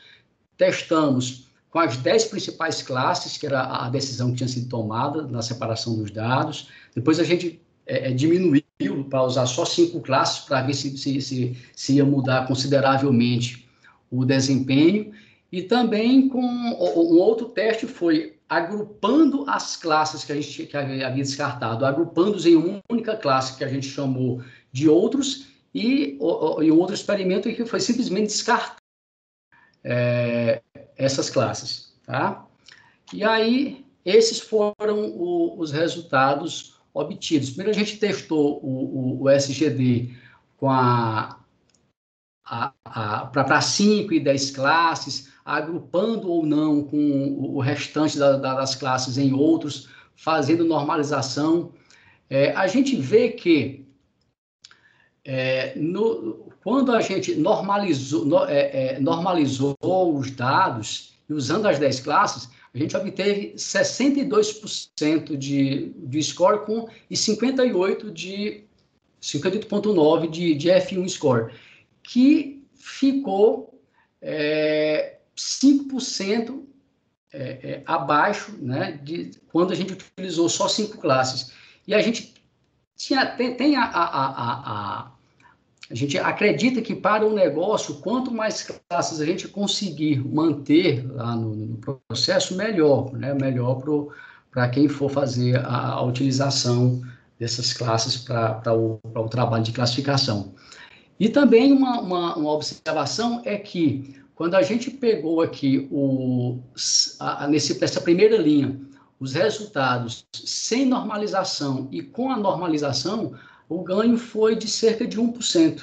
A gente acredita também que é porque o, o TFDF, né, como ele desconsidera aquelas palavras é, que mais é, que mais ocorrem, de maior frequência, né? então, assim, as de maior frequência foram removidas pelas stop isso terminou não, gera, não trazendo um, um ganho significativo. Tá? E aqui a gente só mostrou aqui também como ficou a, a matriz de confusão para aquele, aquele resultado, para aquela primeira linha lá de, de resultados que usavam um, um classificador sem a normalização, e, e, esse outro aqui, já com a normal, isso, isso é normalização, esse melhor resultado aqui foi com cinco classes, e esse outro aqui que obteve esses resultados já com as dez classes, que é a, a, a, nossa, a nossa preferência. Tá?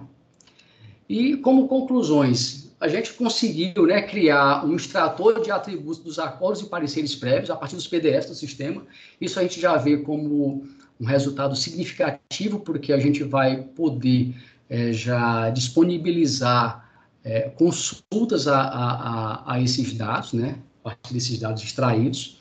Os resultados obtidos pelo classificador não são muito significativos, ficou na casa entre abaixo de 70%, né? A gente vê que não são muito significativos, é, que, eles são, é, que eles, eles, são significativos mesmo não atingindo o desempenho desejado, né? porque perto de 70% a gente acredita que já dá uma, uma boa ajuda para o negócio e que, apesar de ter obtido o melhor desempenho considerando apenas as cinco classes, a gente avalia que a diferença de desempenho aliada ao maior, ao maior benefício para o negócio justifica a utilização do modelo com as dez principais classes.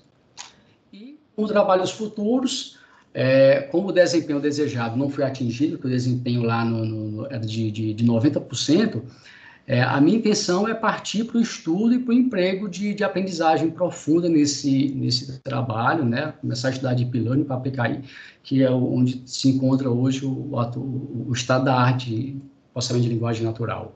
Né? Foi isso, então, aí, a, essa saga para conseguir é, é, esse trabalho. Obrigado, Antônio. Aberto aí a críticas Bem e sugestões.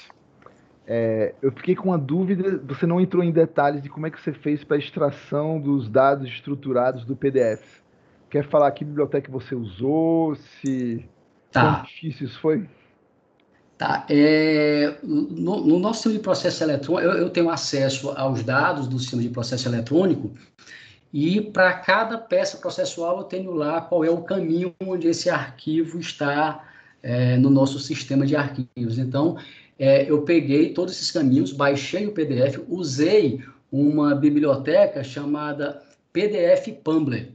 Né? É, é, dessa biblioteca eu consegui extrair é, a, a, todas as linhas do arquivo com suas coordenadas. As, a coordenada é, superior esquerda, superior, superior direita e inferior direita. Com isso, eu conseguia identificar onde cada linha começava e cada linha terminava no arquivo. Né? Então, com isso, eu consegui é, extrair a parte da emenda, a parte de informações do, do, do processo, consegui fazer esses agrupamentos. E depois, com o uso de expressões regulares, consegui extrair a, a, as informações a partir desses segmentos. Foi assim. Isso foi a, a, a, parte, foi muito mais trabalhoso, essa parte foi muito mais trabalhosa do que realmente ir para o pré-processamento de texto e para a modelagem também. Mas vocês vão conseguir convencer a área que publica esses boletins de jurisprudência a publicar também uma versão estruturada, XML ou JSON? Sim, acreditamos que sim. Né? A, a ideia agora é apresentar esse trabalho, dá para perceber que que eu disse, mesmo o, o, desempenho não, tem, não tendo sido esperado, a gente acredita que dá para conscientizar, dá para conscientizar sim. Porque a primeira conscientização já houve logo em relação à, à lista do TRE, né, que eram um, uns dados totalmente inconfiáveis. Assim, acho que o tribunal, os responsáveis pela lista ficaram até, de certa forma, envergonhados com os dados que estavam entregando, entendeu? Não dá para E aí, com, com esse ajuste nesses dados, a, a ideia agora é a gente, ao invés de só disponibilizar uma, uma, uma planilha em Excel, disponibilizar um próprio portal, inclusive com link para, para acesso ao processo, para acesso a, direto ao acórdão. Então, a gente vê que foi bastante significativo o trabalho como um todo. Beleza, então eu queria destacar né, esse papel do ML para melhorar a qualidade dos dados. Já falei isso assim várias vezes e tem várias apresentações que mostram isso. Né? Se você não usa esses dados de uma forma sistemática, qualquer erro deles meio que passa a deixar percebido e deixa de ser relevante. Quando você começa a usá-lo em ML, os erros saltam a cara, né? que são aquilo em que o, o, o modelo deixa de funcionar, ou que você não consegue integrar com as outras bases. É, achei interessante também que você tenha feito o teste mostrando que não houve, no seu caso, né, ganhos na remoção dos stop words.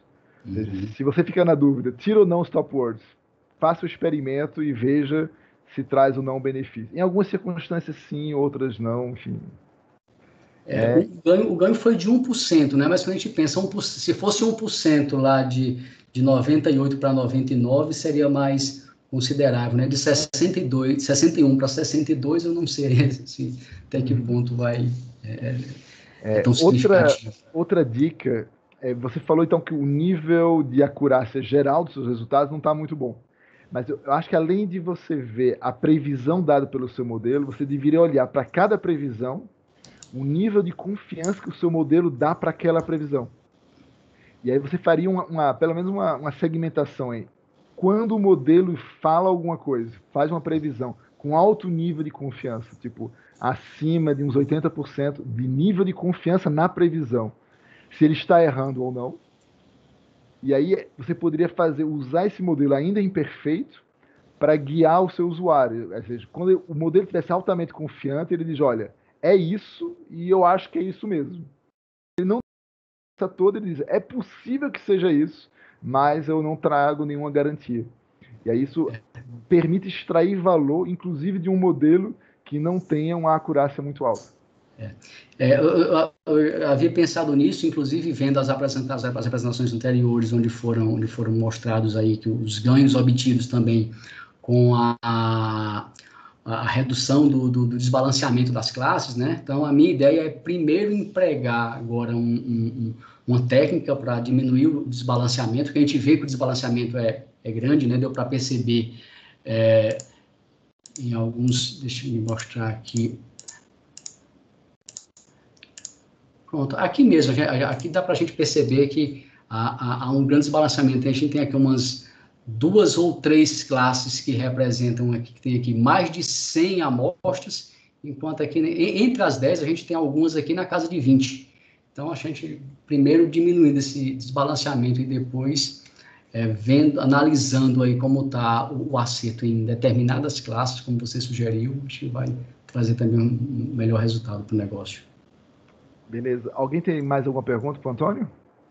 Eu, eu queria acrescentar que eh, foi impressionante o resultado do, da aplicação do Machine Learning, porque não melhorou só os dados, mas também é, melhorou interno lá do, do, do, tribunal, vai, então, inclusive, lançar a possibilidade de criar um novo produto. Exato. Então, é impressionante é, o impacto de, uma, de um projeto, é, o resultado de um projeto, de um curso de Machine Learning. Eu fiquei é, realmente impressionado com o resultado. E, além de, de, dele, ele falou que vai, como próximo passo, criar é, aplicar novas técnicas mais avançadas, mas também acho que vale a pena, nesse caso, investir na, na melhora dos dados de treinamento e ao balanceamento das classes que você já mencionou. Beleza, Fernando. Obrigado aí. Então, obrigado, Antônio. Aí eu vou já chamar o próximo, o Augusto César Ribeiro. Augusto, você está aí? Ah, não, ele está com outros convidados. Então, nesse caso, vamos pular o Augusto, vamos direto para o Maurício Matos. Maurício, você está por aí?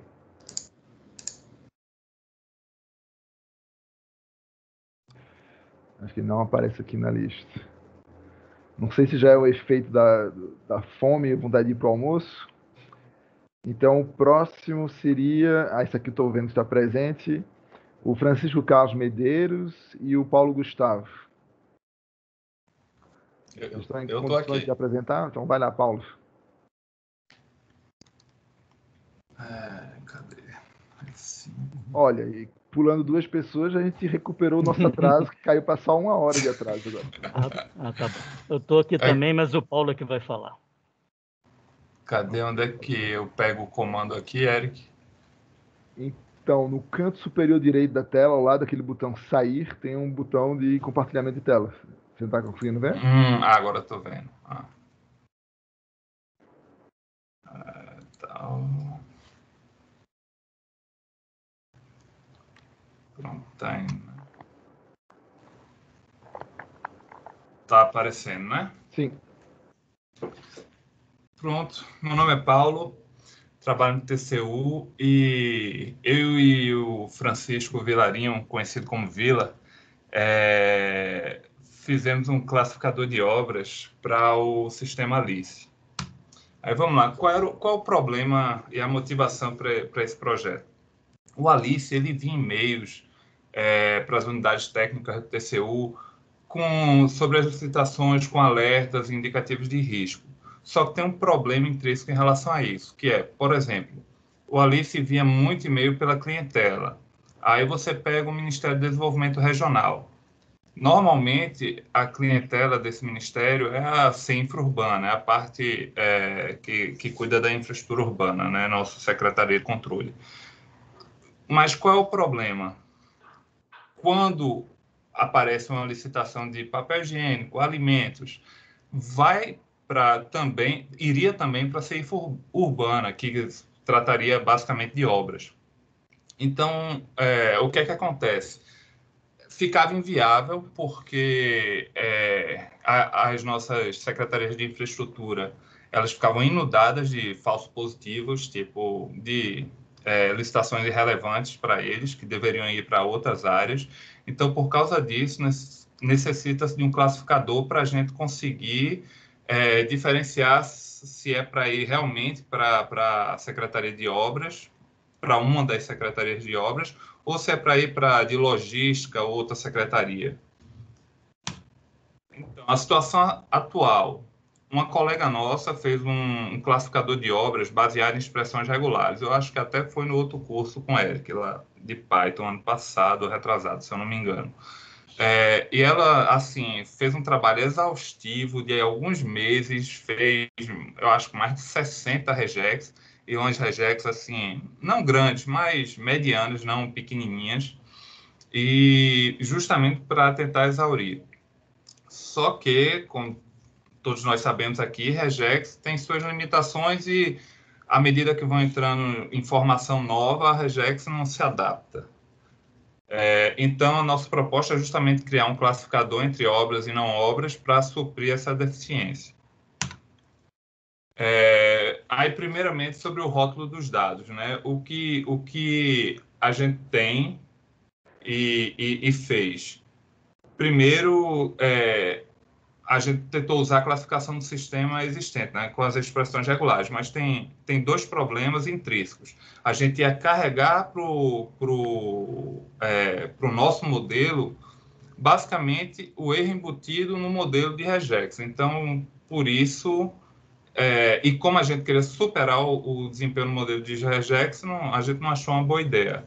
Então, a segunda alternativa foi, foi, fazer uma consulta no CIASG e utilizar uma classificação orçamentária da despesa de obra, que é a natureza de despesa 44591.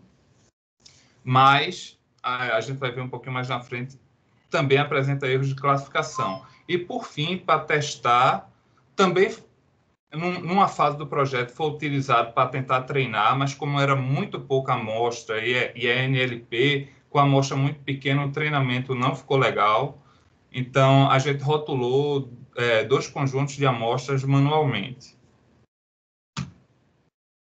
Aí, a rotulagem por, através do CIAG, né, pela natureza da despesa. A gente chegou a encontrar, a gente quis colocar isso para ver como até o empenho sai, muitas vezes, da forma errada classificado como obra tá esse objeto bebida alcoólica produzida à base de cereais, tendo sua composição cevada maltada, cevada não maltada e água. Aí eu fiz, pô, se o cara queria fugir de um, de um robô que pega de cerveja, pelo menos não coloca na natureza despesa de obras, né? Porque é o que é mais procurado nos tribunais de contas, mas tudo bem. Aí isso serviu só para exemplificar que, é, apesar de ser mais confiável, é, até mesmo a, o CIASG, no Comprasnet, o pessoal classifica errado a natureza de despesa e traz um ruído para o modelo. Pronto, então qual foi, por fim, nossos conjuntos de dados? Os dados do CIASG, para treinamento e validação, é, mais ou menos 1 milhão e 200 mil ali, licitações, dos quais, é, 223 mil, do, dos quais 1 milhão e 212 mil não são obras e 11.490 são obras. Então, aproximadamente aí 1% das aquisições são obras, uma classe bem desbalanceada. Então, a gente é, fez dois conjuntos de dados manuais. Um, 200 registros, onde a gente dividiu é, mais ou menos balanceadamente, quase 50% a 50%, e outro registro é, que a gente também classificou manualmente, mas bem mais desbalanceado, por volta só de 8% de obras. Esse último registro é o que a gente vai utilizar para o teste final, por quê? Porque o registro intermediário ali, esses 200 registros, alguns são ali dessa consulta do, CIA, do CIASG. Contudo, esses 367 registros a gente pegou do CIAS também, mas numa, é, numa consulta posterior, então são dados totalmente desconhecidos pelo modelo de treinamento. E é isso que a gente vai usar como comparativo com o modelo Regex no final. É, pronto, aí é basicamente o resumo do, dos dados tal. É, primeiro modelo. O que é que a gente tentou? é, um decision tree, utilizou um count vectorizer com unigramas, fez todo o pré-processamento, limpeza de texto repetitivo que aparece em objeto, dois pontos, programa eletrônico, dois pontos. Então, repetia muito, tirou isso, usou os stop words do NLTK, do Space, é, fez a remoção de acentos, fez também um vocabulário restrito, com e sem um vocabulário restrito, que foi é um bag of words, né, com 200 palavras de, de, cada, de cada classe mais comuns para dar uma importância maior às palavras de interesse da classe minoritária. Aí, uma explicação rápida de, de, de, métricas, porque vai ser importante nos próximos slides. A gente quer prever rótulos de classe, então a gente desce ali para a esquerda, só que nossa classe determinar se obra é praticamente nosso trabalho. Se não, como o Eric já mencionou em aula, só era chutar tudo não obra que você ficava com uma acurácia lá em cima, 99%. Só que, como o, o, nosso positivo é mais importante, você pode ver que aí você entra ali no, no F1 Score. É, a acurácia e a média geométrica não, não, não são tão importantes. Então, o que, o, e para o nosso caso em específico, o falso negativo é ainda mais importante. Por quê? Porque se eu, se eu tenho um falso positivo, eu posso criar um mecanismo de feedback que os autores dizem, ó, oh, isso aqui não é para ter, esse e-mail não é para ter vindo, tal. Então a gente retreina o modelo e vai melhorando o falso positivo. Mas o falso negativo, eu não vou ter esse feedback do auditor, eu vou meio que o modelo vai perder para sempre. Então, eu tenho que tomar muito cuidado com meus falsos negativos. Então, eu, desses, eu prestei atenção nesses três scores, mas eu sempre ficava de olho no F2 score, por causa disso. Aí, o primeiro modelo, é, a gente fez uma árvore de decisão com vocabulário restrito. E pode ver que, com a classe desbalanceada, você tem uma acurácia altíssima, uma média geométrica alta, e olha como é baixo os F-scores, e, e, por causa da precisão. Já aí a gente fez um balanceamento, já melhorou absurdamente. Já agora o balanceamento foi de 1 para 3,33 vezes. A razão. Esse por que 3,33 eu vou explicar mais na frente. Mas já teve uma melhoria. Então, esse foi o primeiro modelo. é, uma, é, uma coincidência, aí agora a nível de piada, foi porque a gente fez com vocabulário restrito sem vocabulário restrito. E sem vocabulário restrito, não mudou muito assim, não, ah, não, não caiu o desempenho, não subiu muito o desempenho, ficou ali na média parecido, mas a árvore de decisão ficava inexplicável. Chega aqui, eu, eu não sei se vocês conseguem ler, mas eu circulei aqui no quarto é, nível, no quarto nível, Jaqueline. Se não for uma Jaqueline Construtoras, um empreendimento Jaqueline, eu não sei por que a árvore de decisão considera ela. Em, outro, em outra árvore, tinha consciência negra. Então, assim, é, às vezes o, o vocabulário restrito é bom para apresentar para a área de negócios, porque se você voltar aqui, cria, você pode ver, ó, execução, construção, aquisição, cria um, um modelo de explicação um pouco melhor por, do, do que o vocabulário totalmente aberto. Que, assim, até hoje, não me pergunta, eu não consigo explicar a influência de Jaqueline na classificação de obras de Ciage, mas tudo bem. Vamos lá, a jornada. Então, a gente começou desse modelo de Decision Tree, e a gente agora vamos começar a brincar com os modelos, com, com, com todos os parâmetros que a gente consegue mexer. Então, a primeira coisa, fiz um pipeline, coloquei Decision Tree, Logistic Regression, SGD, Naive Bayes Bernoulli, porque é, o meu problema é binomial, Random Forest, Support Machine Vector, e por fim um ensemble disso. Eu, eu, eu já meio que deixei de vermelho o Random Forest, Support é, Vector Machines, porque é, o desempenho deles foi muito ruim. Mas eu acredito talvez foi falta de uma para, parametrização melhor. Aí eu tirei eles do Ensemble, mas assim como Decision Tree, mas é, no futuro talvez eu possa voltar e dar uma olhada melhor nesse aspecto da parametrização desses dois modelos. É, então, é, Count Vectorizer com TF-IDF Vectorizer, o TF-IDF Vectorizer, a gente notou que tinha um desempenho melhor. Então, aí a gente manteve ele.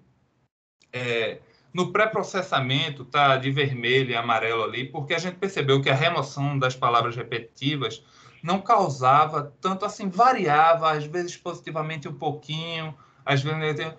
Então, no, no final, variou positivamente um pouco. Então, assim, eu deixei no modelo. Mas os stop words e os acentos, por incrível que pareça, teve um, um, um resultado negativo, uma influência negativa no modelo, prejudicava o modelo. Então, eu tive que tirar. Mas as duas coisas que deram um salto no modelo, assim, em, em todas as métricas, foram o N-grams e o undersampling. Eu coloquei justamente na ordem que, que ficou assim de qualidade dos modelos. Quando eu testei o Unigrams com Bigrams, é, Unigramas com Bigramas, esse foi o melhor que eu consegui atingir em termos das métricas. Depois foi só com unigramas, depois com unigramas e trigramas, e nessa ordem aqui, e, e, e, e até o, o unigramas estava assim, unigramas chegou perto do unigramas bigramas mas o unigramas até trigramas e bigramas, trigramas e só trigramas ficaram muito aquém dos dois primeiros. Por fim, o undersample foi outro que, assim, modificou a qualidade do modelo. Eu comecei com undersampling de um para um, que foi esse mais à direita. E o modelo não atingia um resultado bom, um número muito grande de falso positivo, não atingia, não atingia. Aí eu fiz, pô, será que se eu, sei lá, mudar aqui o, o, o a amostra e criar, sei lá, duas vezes a quantidade de amostras é, é, não obras em relação a obras, para pelo menos ele, ele ter mais com que categorizar o não obras. Aí eu fui brincando com isso, fui colocando a razão de 0.3, 0.2, 0.4, 0.5, fui brincando e consegui achar um, meio que uma razão ótima ali por volta do zero ponto que significa que tem 3,33 mais exemplos de não obras do que de obras.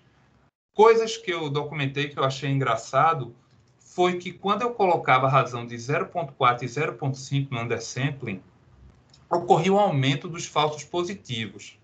Já quando eu colocava 0.1 e 0.2, ocorria um aumento dos falsos negativos.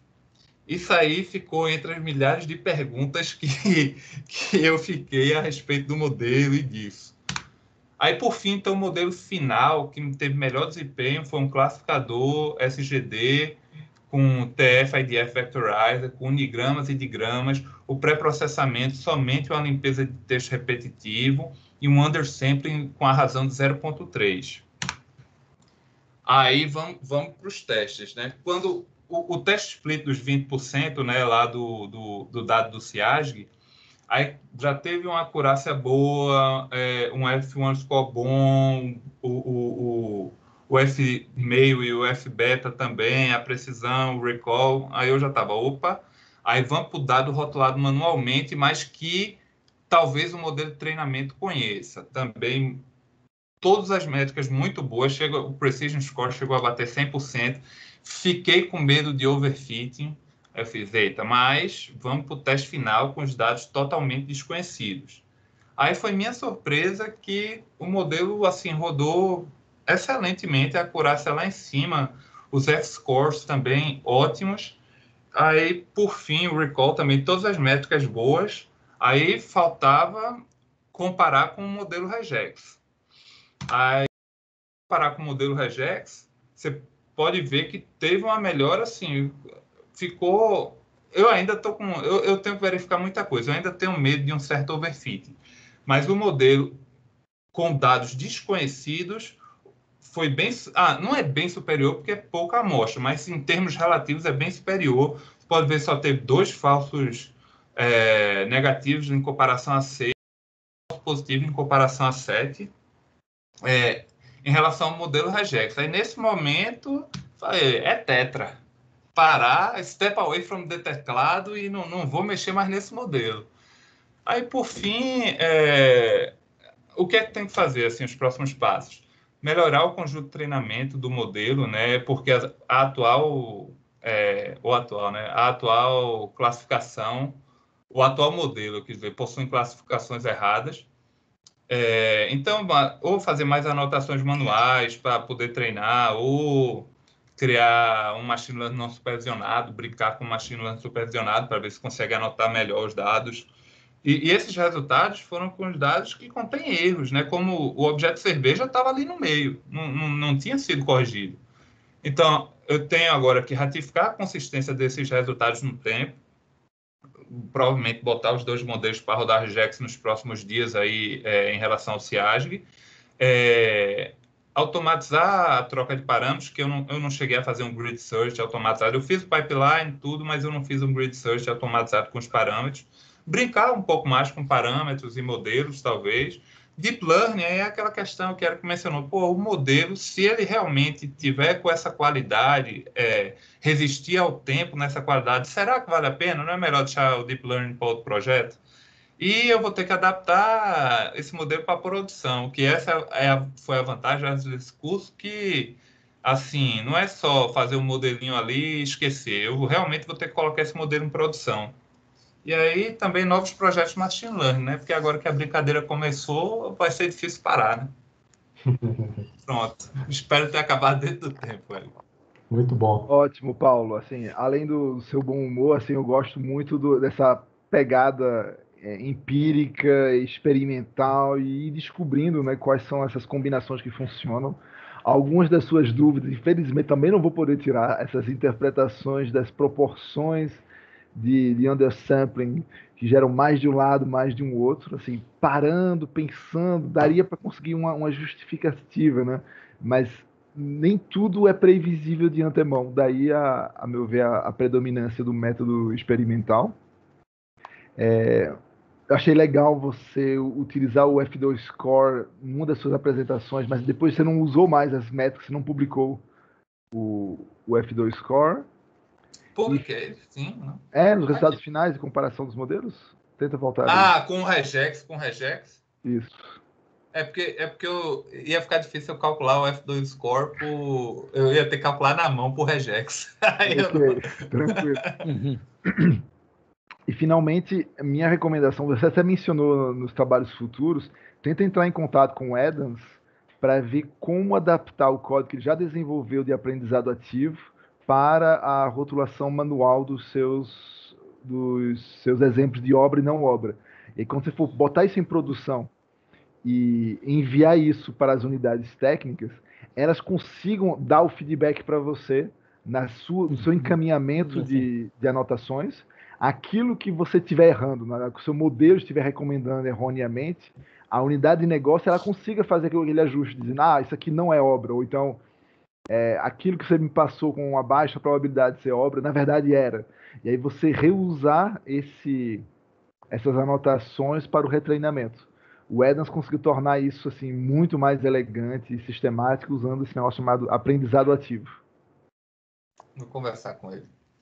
Ah, vou querer empurrar o máximo de aprendizado ativo para todo mundo que cujo gargalo seja anotação, que é quase o caso de todo mundo. Né? É, é. Bom, então é, o próximo na programação seria o Rodrigo Schneider. Estou tentando encaixar. Opa, diga. É, Leonardo aqui falando. O, o, Paulo, Francisco, eu tenho interesse nisso que vocês fizeram, é, num problema mais geral ainda, que é a classificação geral de objetos de licitação, né? Eu já fui da, da, da CELOG, e na CELOG você tem essa necessidade, e nas uhum. outras secretarias, agora eu estou na CSEX Administração também, por conta da efetividade, de você saber quanto que o, o órgão está redirecionando para uma área ou para outra. Tá? Aí depois, acho que no futuro a gente conversa. Né? Uhum. Pronto, tá certo. Uhum. Tá, tá ok. O Paulo até já preencheu o site do curso com os links básicos do, do trabalho dele. Felicito, Paulo. E se conseguirem compartilhar mais ainda desses modelos, seria ótimo. Então, o próximo. É, obrigado, né, o Paulo e o, o Vilarinho. E agora o próximo seria o Rodrigo Schneider, mas estou tentando encaixar aqui o. O Leonardo Gomes Ferreira. Leonardo, você consegue apresentar agora? Eu posso apresentar sim, Eric. Vai lá. Ah, e só confirmando, né? O seu não tem nada sigiloso, né? Podemos Não, não, não, pode, pode, sim, pode sim. Deixa eu compartilhar a tela aqui. É... Tá aparecendo a tela? Sim. Então, primeiro eu quero agradecer a você, né, o Fernando aí pelo curso, eu aprendi muito, assim, que eu não tinha conhecimento nenhum né, nessa área de machine learning, nunca tinha trabalhado, né, assim, e o projeto que eu escolhi aqui é, foi a classificação de denúncias, né, é, qual a motivação, né? Quais problemas? É a grande quantidade de denúncias, manifestações que chegam assim, no, no, tribunal, né? E lá na nossa secretaria, por ter uma clientela grande que pega os conselhos, conselhos profissionais, sistema S, então tem, tem chega muito, bastante coisa, né? De, de denúncia e manifestação, os textos não estruturados, né? Dificuldade de tratamento e análise, intempestividade das ações de controle, né? E em muitos casos também essas denúncias assim são bem superficiais, assim, não tem um acompanhamento, não, não, não vale a pena assim a, é, a gente ter uma atuação mais é, detalhado em cima delas, mas seria interessante a gente ter um repositório com essas informações que chegam, né? Assim, até para poder é, um dos benefícios seria assim a gente planejar ações de controle baseado nesse histórico de, de manifestações, né? Ter maior, maior agilidade também na, na, tramitação dos documentos, né? Que chegam, melhor conhecer os órgãos, entidades, né? Dependendo dessas dessas denúncias manifestações, identificar os temas mais comuns e um, um, também um benefício potencial seria identificar nível de risco baseado nessas manifestações, assim, mas essa parte de nível de risco não é objeto aqui do, do, do, desse trabalho até o momento, né, é que seria a questão de tentar prever se aquelas denúncias, assim, com base no histórico de, dos acordos, das decisões dos tribunais, se aquelas denúncias teriam um risco maior, né, de ter algum problema que poderiam gerar, gerar consequências depois, né. Mas aí teria que acrescentar novas features, não somente texto, né? Aqui, aqui esse trabalho seria mais a parte de texto. Então, é, como que foi feito o processamento, né? É, basicamente foi, foi parecido, assim, com o trabalho anterior aí, né? Assim, é, eu tive muito trabalho aqui na obtenção dos dados, porque é, eu peguei dados de, das peças iniciais, dos processos de denúncia e, e representação, né? E são dados em PDF, que estão no, no, no ETCU, né? E eu tive que pegar a partir de uma lista de, dos, dos processos, né, gerar sinergia, uma lista dos processos da, da, da, nossa clientela e identificar o código dos documentos das peças é, do tipo denúncia e representação, né, E aí, o que, que eu fiz, né? Assim, é, eu, eu, pegava a, a, peça com menor número, né? Assim, a, a, peça inicial do menor número, que às vezes tem, tem denúncias, apresentações tem várias, várias peças, né? São bem grandes, e, e nesse momento eu restringi apenas a primeira peça e pegava só as seis primeiras páginas do... Fiz os testes para outras páginas maiores, arquivos maiores, né? Então, limitava todos os PDFs, assim, é, é, até seis páginas, e da ouvidoria também eu peguei a base de dados da ouvidoria, que da ouvidoria já é texto, né? Assim, é, é o texto do, do, manifestante que vai lá, digita o texto né, com, a, com a denúncia, e aí não, não, exigia um tratamento adicional. Né? Então, é, essa parte do PDF foi um pouco mais complicada. Né? Aí eu juntei nessa, é, essas bases, e aí depois eu fiz o tratamento com TFDF e, e usei os modelos né, para tentar é, identificar classes da, das denúncias. Né? É, então, eu, eu, inicialmente, eu tinha colocado apenas é, uma label, que seria essa, se era licitação, contrato e convênios ou outros atos, né? Seria essa, essa label inicial. Então, eu tinha, aqui eu tinha os documentos, né? Eu tinha inicial, tinha um assunto que é cadastrado no processo ou na ouvidoria, só que eu não usei essa coluna, eu só, eu só usei a, a, parte desse texto aqui, porque eu não queria usar o assunto, até mesmo em vários casos os assuntos também não, não, não, não tem muita relação com o documento da denúncia, né? Então, é, basicamente, no começo eu tinha pensado só essas duas labels aqui. É, tinha alguns casos que tinha tanto licitações como tinha outros atos também. Aí eu, eu criei uma label é, jogando tudo para licitações e contratos quando aparecia nos dois, né? Então, essa seria essa label, a, a, a label 1. E aí depois, é, eu, eu, então, eram 656 registros, né? e tinha muita coisa na, na, ouvidoria que era cópia de processo, lei de acesso à informação, que eu tive que tirar manualmente, né? E, e alguns dados desse PDF eu, eu, não consegui extrair muita informação, porque às vezes a peça inicial está cadastrada como representação dentro do inicial, mas às vezes é um despacho, então não, tinha muita informação útil na, na, nessa peça inicial. Então, de 656 passou para 551, né? Quantidade relativamente pequena, né? E os dados não, não, não eram anotados, né? Então, na, eu fiz na mão a anotação dessas labels aqui, do zero, né? E a 1 aqui era basicamente é, a combinação do que tinha só licitações com os outros. Aí depois eu fiz um, um regex é, para alguns temas específicos, né? Para criar mais labels. É, que são assuntos bem recorrentes nas denúncias, que é denúncia de indenizações e vantagens, seria label 2. É, informações aqui, denúncia sobre concurso, é, nepotismo, contratação de parentes, seria essa label 3.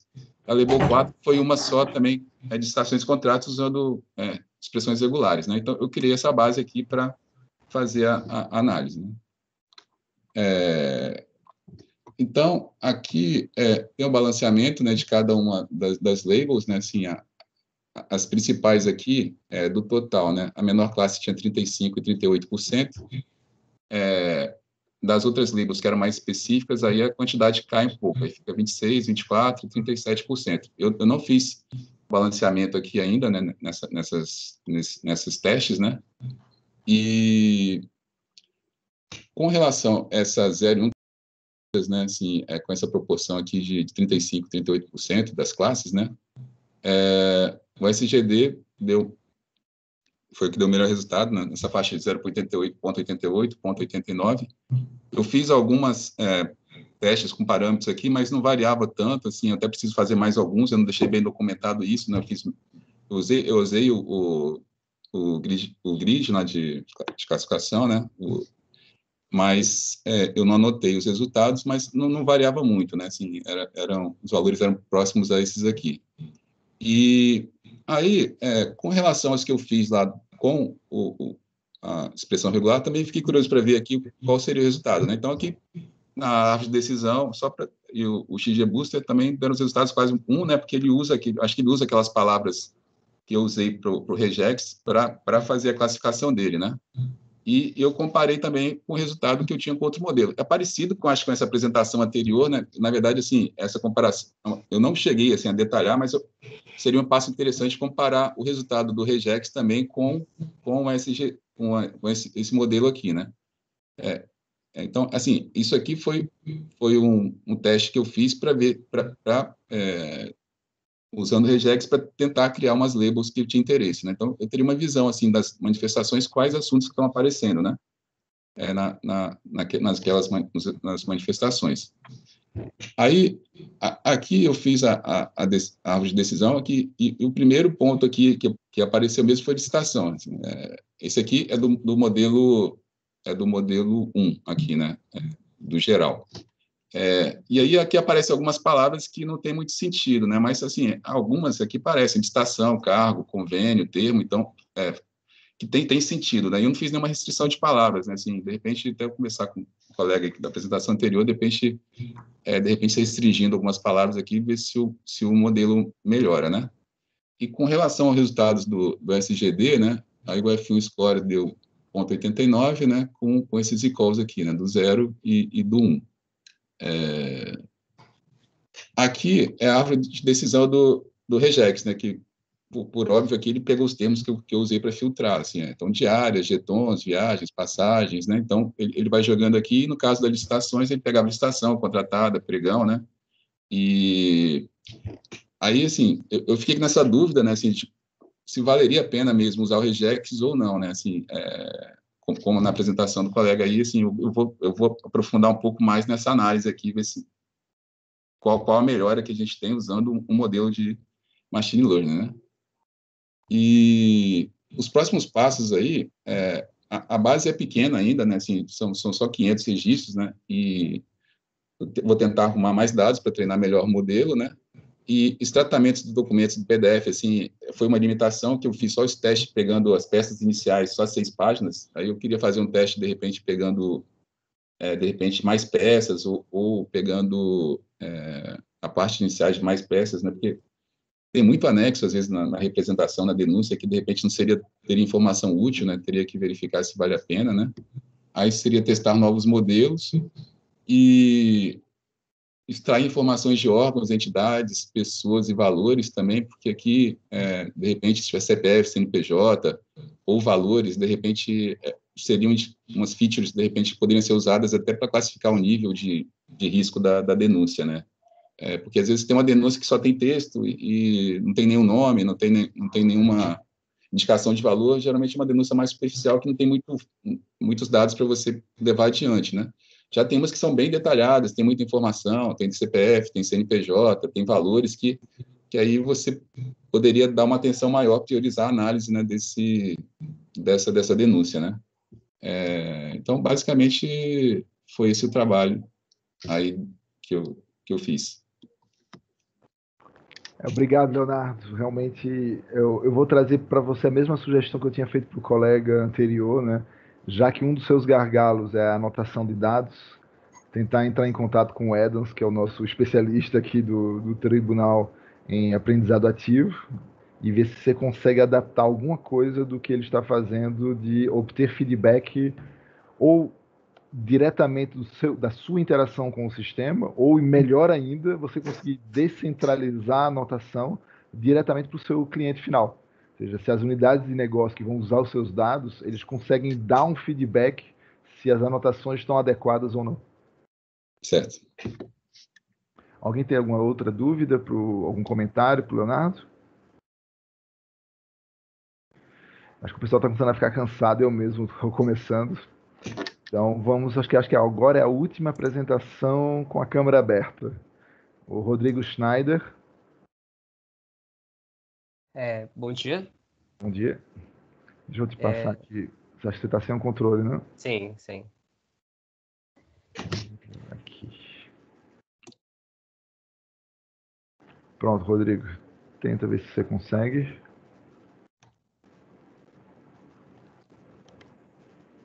Deu? Vai lá. Tá, tá visível. Bom dia, colegas. Eu sou Rodrigo Schneider, analista de sistemas do TJRS. Trabalho no projeto de desenvolvimento do EPROC, né, um sistema de processo eletrônico judicial. É, eu, embora esse não seja um projeto lá do, da nossa, do nosso setor de informática, é, eu identifiquei aqui que, é, não só no TJRS, mas em muitos tribunais, é, diante da grande demanda de, de processos, né, o alto volume de ações judiciais, para uma maior produtividade, os tribunais eles se organizam uh, uh, especializando matérias por órgão julgador. Aqui alguns exemplos, né, como família, sucessões, curatelas, são matérias uh, distribuídas entre os órgãos para que eles possam se especializar nessas matérias e ter uma maior produtividade no, no julgamento, né. Com o advento do processo eletrônico, o próprio advogado ele faz o peticionamento no sistema, né, nos sistemas de processo judicial, e ele entra com o seu documento de petição e classifica entre as várias classificações, as mais importantes aqui são a classe judicial e o assunto judicial, né? São, é, são valores tabelados pela, pelo CNJ, padronizados pelo CNJ, mas que cada tribunal se organiza é, de maneira diferente aqui. Claro, nem todos os tribunais fazem essa especialização, né? É, por matéria nos seus órgãos jogadores. E no caso do EPROC, uh, ele, ele calcula a competência a, calcula a matéria a partir das informações de classificação feita pelo advogado, né? Nesse exemplo aqui, um procedimento comum de assunto alimentos é, é, é identificado como de competência de família. E distribuição, o algoritmo de distribuição descobre os órgãos competentes e faz o sorteio para o órgão julgador. O problema é que se o advogado erra essa classificação, Uh, nesse exemplo aqui, a petição é de uma emissão de posse de imóveis, uh, o processo acaba indo para um órgão incompetente. Então, esse é o maior problema, né? Uh, alguns tribunais resolvem isso é, fazendo, colocando uma equipe de revisão manual desses dados aqui, e só então, após a revisão, é que o processo é encaminhado para o órgão julgador, né? É, em alguns casos, revisão não é feita, no caso do primeiro grau do, do, Tribunal de Justiça, não é feita essa revisão manual e acaba ficando errado mesmo. Aí o órgão jogador precisa perceber que está errado e aí ele encaminha o processo para reclassificação e redistribuição. E quando dá uma coincidência de o órgão, apesar da classificação estar errada, da competência estar errada, é, o órgão também é competente naquela matéria, acaba tendo um, acaba tendo um outro problema, porque ele, ele pode não ser classificado, uh, ele pode continuar errado, né? E isso gerar um viés estatístico, uh, porque o CNJ faz uh, estatísticas em cima da, da, do volume de processos, né? Em função de assunto, classe. Então, a hipótese que eu levantei é, é possível com o modelo de machine learning, é, em função do texto, predizer a competência e aí comparar com a competência uh, calculada pelo sistema judicial em função desses campos, é, perceber que está errado e aí encaminhar para revisão manual, é, porque daí ele vendo que está certo, ele, ele deixa seguir adiante, né? E apenas os processos identificados pelo robô como mal classificados é que seriam uh, analisados uh, manualmente. Então, eu implementei um de PHP.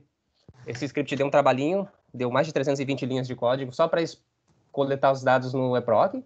Eu consultei um banco de dados do eProc e também um servidor de arquivos para puxar os documentos e gerei um documento, um zip aqui com mais de 8 GB nessa estrutura. Né? O CSV com, com as petições e para cada documento vinculado um PDF. Né? Então aqui tem uma coluna de identificador do documento. E aí eu consegui, a partir dessa informação do CSV, fazer um script, um script aqui de, de conversão do PDF, usando essa biblioteca, PDF do texto, e gerar uma coluna a mais aqui no meu dataset com texto convertido. Bom, foram mais de 18 mil uh, petições extraídas. É, Importante destacar aqui que eu usei aqui a base do segundo grau. No segundo grau nós temos uma equipe de revisão manual. Então a, tem alta qualidade aqui o meu target, que é o código de competência, né? Ele, ele todo esse volume aqui de, de essas 18 mil petições foram revisadas. É, como é PROC, ele está tá em crescimento, né? Ele está sendo expandido aos poucos no TJRS. É, isso aqui representa todas as petições no segundo grau nesse momento que já foram revisadas. E, para minha surpresa, né, é, apenas 189 foram descartadas, porque provavelmente, porque essa biblioteca aqui, ela não tem OCR, com, provavelmente petições com imagens, né, ao invés de texto. Então, isso mostra que a grande maioria dos advogados realmente gera um PDF a partir de, uh, de editores de texto, né? E não de digitalização. Bom, para exploração e limpeza de dados, eu comecei analisando aqui o meu target, né, que é a competência, código de competência. E aí eu percebi um desbalanceamento enorme aqui, são mais de 77, são 77 competências, é, a maioria, muitas aqui com apenas um único exemplo de, de petição, né, e algumas com mais de 3 mil. Então, eu fiz uma, um recorte aqui pegando 10% da competência que mais tinha exemplos, né? Então, negócios jurídicos bancários tinha tem 3.200 casos, eu calculei 10% aqui, isso aqui é empírico, né? É, Para poder descartar aquelas com menos de 320 petições, restou 14.500 petições, representando 80% do dataset original, em 11 competências. De 77 competências, então comecei a trabalhar com essas 11 aqui vejam que ainda tem um, um desbalanceamento, mas eu, eu assumi esse risco para poder experimentar. Né? Eu queria manter uma solu uh, chegar a uma solução que atendesse ao menos 80% do volume uh, de, de, de, processos. Né? Então, comecei a fase de modelagem de dados e removi stop words, usei o NLTK uh, do dicionário de português é, não retirei os acentos, isso é uma ideia que surgiu agora, a partir dos relatos dos colegas aí. É, transformei ela para minúsculas e peguei o meu X, que é o texto, e minha competência Y. Dividi aqui em 20% para teste. Treinei o modelo de vetorizador aqui para transformar ah, num vetor de, de palavras, a, a, a ocorrência das palavras, né, com TF-IDF Vectorizer. E, e fui para o treinamento. É, é, vale destacar aqui que eu, eu usei no TF-IDF ele, é, 50 mil palavras, né, as mais frequentes, e usei Bigram. E treinei alguns modelos, alguns algoritmos, fiz a predição comparei com meu verdadeiro Y-test, minha competência, né? Gerei as métricas e a matriz de confusão. Uh, treinei esses modelos aqui. O LGB, LGBM, eu comecei a trabalhar com ele a partir de terça-feira. Fiquei surpreso ali com o trabalho do Ricardo, né? Que teve um bom resultado. Até então eu vinha focando aqui no SGD com 84% de acurácia. E aí eu fiz algumas alterações aqui no, nos últimos instantes aqui, nos últimos dias, para poder mostrar aqui. Então, com 85%, eu comecei a analisar, mas não mudou muito, tá? A matriz de confusão mostra algo muito parecido, uh, comparando com o que eu vinha trabalhando com a SGD até então, né? E, e o que podemos observar aqui é que ela erra mais em algumas competências.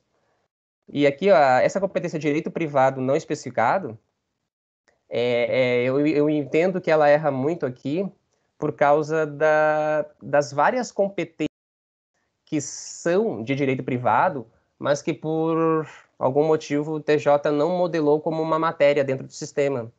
Né? É, a gente pode ver aqui que muitas dessas competências aqui são de direito privado, e só que elas são bem específicas, né?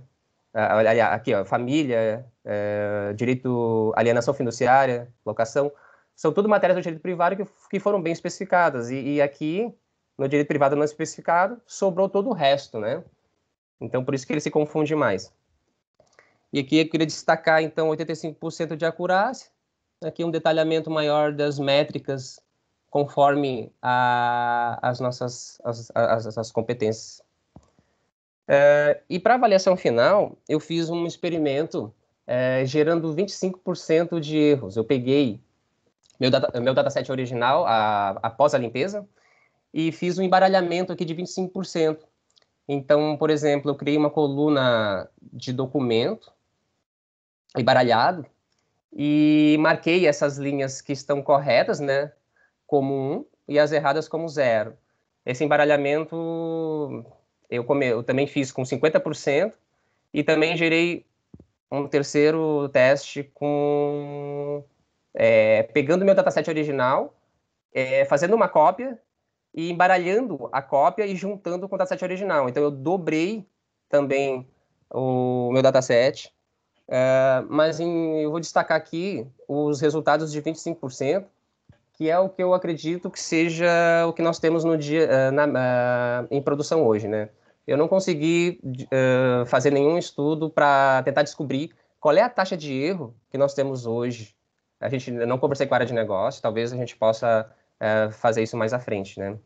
Mas então, com esse dataset com 25% de erros, eu submeti ao meu procedimento de modelagem de dados, separando né, as variáveis é, de treino e teste, fiz um outro treinamento e aqui está errado, aqui eu, eu, eu, acabei adotando o SG LGBM e peguei hum, a variável embaralhada para fazer a predição.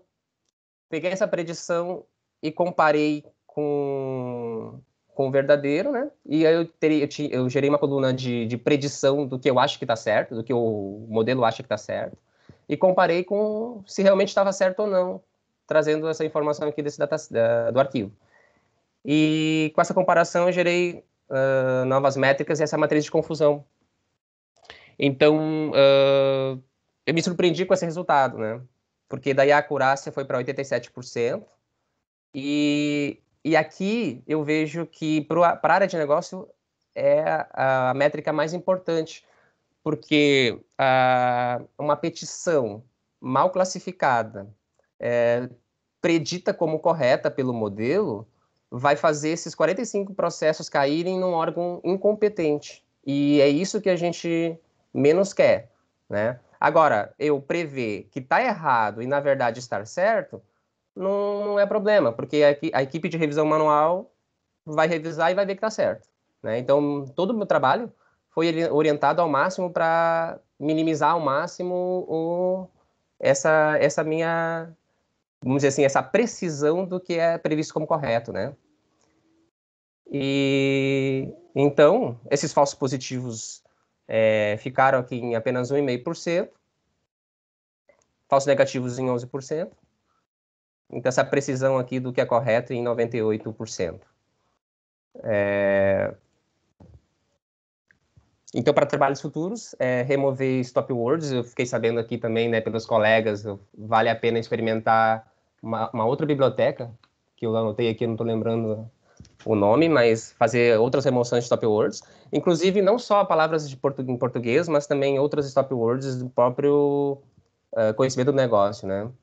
Coletar mais dados dos sistemas legados para melhorar o treinamento e resolver o problema do balanceamento, eu nem penso aqui em fazer nenhum oversample com Smoke, porque a gente tem é, mais documentos para analisar dos sistemas legados, né? E investir em script para trazer esses dados dos sistemas legados é, vale muito a pena, porque isso seria aproveitado em outros projetos de inteligência artificial no, no tribunal.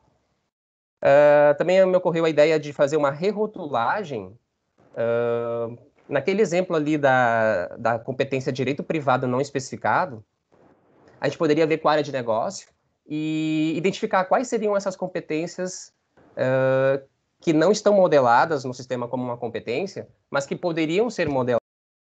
E aí, a partir da classe do assunto, fazer essa, essa rotulagem para essas novas competências e treinar um novo modelo. E aí, quando ele prevê que, que é um desses, que é uma dessas competências é, que na verdade não existem, né? Mas elas seriam então mapeadas, identificadas como direito privado não não especificado. E também fiquei curioso aqui para conhecer mais sobre BERT e redes neurais convolucionais para melhorar uh, esse trabalho, né?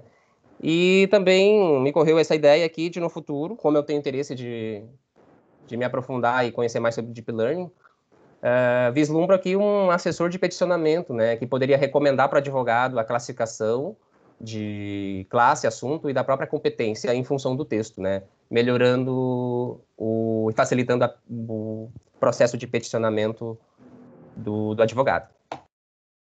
Então, agradeço muito pela oportunidade desse curso, né? Aqui uma nuvem de palavras dos, dos peticionamentos com, da área de família. É, e dizer que foi um privilégio é, fazer esse curso, aprendi demais, foi realmente o melhor curso que eu já fiz também. É, valeu. Muito obrigado, Rodrigo. Bem interessantes seus resultados. Eu tenho aqui várias perguntas, mas assim, já dando umas respostas para algumas das suas indagações, você tinha perguntado qual era essa lista de stop words né, que o pessoal está usando. É da biblioteca Space, S-P-A-C-Y. Ok. É... Achei interessante, enfim, ainda, Fernando, provavelmente, provavelmente, vamos ter que acrescentar LGBM né, no, no, Já no nosso Já está anotado.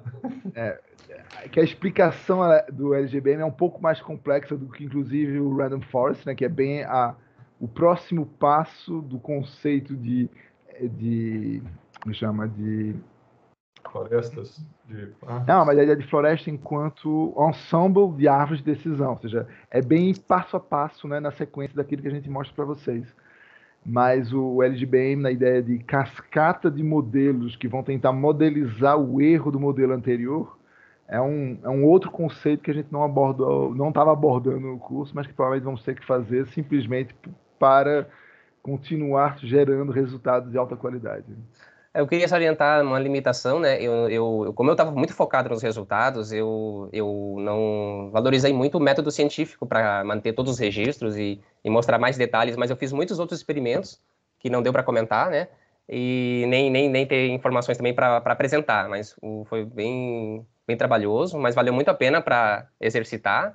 E dizer também que uh, é, eu, eu, eu, também vale muito experimentar, uh, gerar árvore de decisão ali.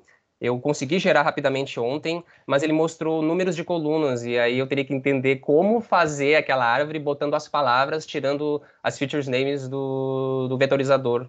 E também uh, aquela biblioteca de Light GBM também tem uh, um método para mostrar as palavras mais importantes. Também uh, eu quero experimentar, eh, dar uma olhada melhor nisso e ver, entender melhor como é que quais são as palavras mais importantes e entender melhor a natureza dos erros, né?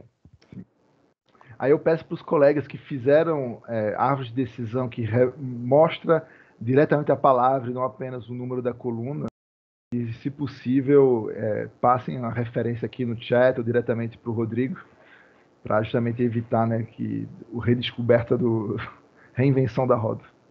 E se não, eu gostei muito dessa sua abordagem de introduzir erros de rotulagem em uma base de dados que era inicialmente confiável, retreinar o modelo com esses erros de rotulagem e ver como o, o modelo treinado ainda assim consegue ser bastante resistente ao fato de ter erros em, em rótulo. É, isso aqui é algo que eu, eu sempre tive essa, essa intuição e que, em geral, foge daquele preceito básico da informática, né, de garbage in, garbage out, Machine Learning ele é resistente ao garbage in. Ele consegue gerar resultados decentes, mesmo se os seus dados de treinamento possuem uma certa taxa de erro. Na é verdade, é eu, eu, não sei se eu comuniquei direito, né? Na verdade, eu não treinei com os erros, tá?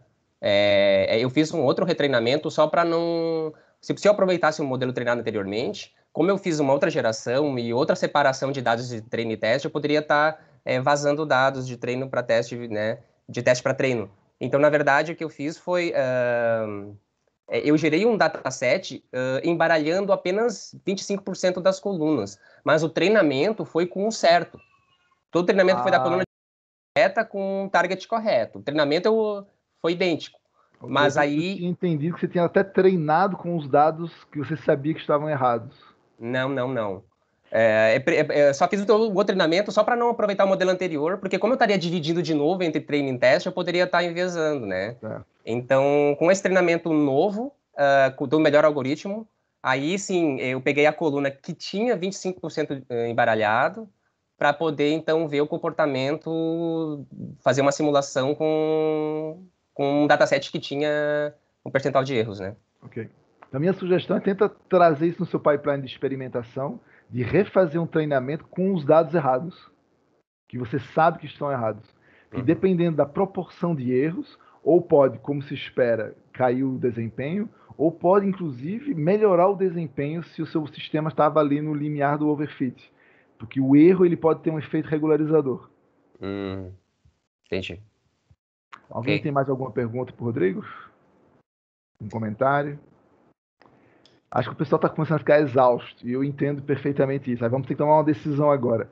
É, agora seria o final das apresentações, digamos, públicas com a gravação. Os três próximos, o Wagner, o Marcelo e o Leonardo Loreato, eles tinham pedido para que as suas apresentações não fossem gravadas, pelo fato de ter alguns detalhes mais é, envolvendo dados sigilosos ou uma abordagem específica que não quer que seja amplamente circulada. Então vamos parar a gravação aqui de qualquer jeito e depois decidir se a gente tenta manter as apresentações agora ou tenta encontrar um outro dia ou horário. O que é que os três apresentadores prefeririam? Eric, é, para mim eu prefiro apresentar hoje. Depois vai ficar um pouco ruim para mim. Semana que vem tenho outras coisas para entregar lá. Wagner e Marcelo, o que, é que vocês preferem? Para mim, eu acho que hoje agora tem que ver a disponibilidade do resto da turma, né, cara? Que já estamos. Já são 12h40 e seriam três apresentações, pode ser uhum. que nem, não, nem tanta, tanta gente tenha essa disponibilidade do tempo, né? Mas por mim, posso apresentar hoje, tranquilo. E não vai ter gravação, né? Você não vai ter como é. ter acesso depois. É agora ou nunca.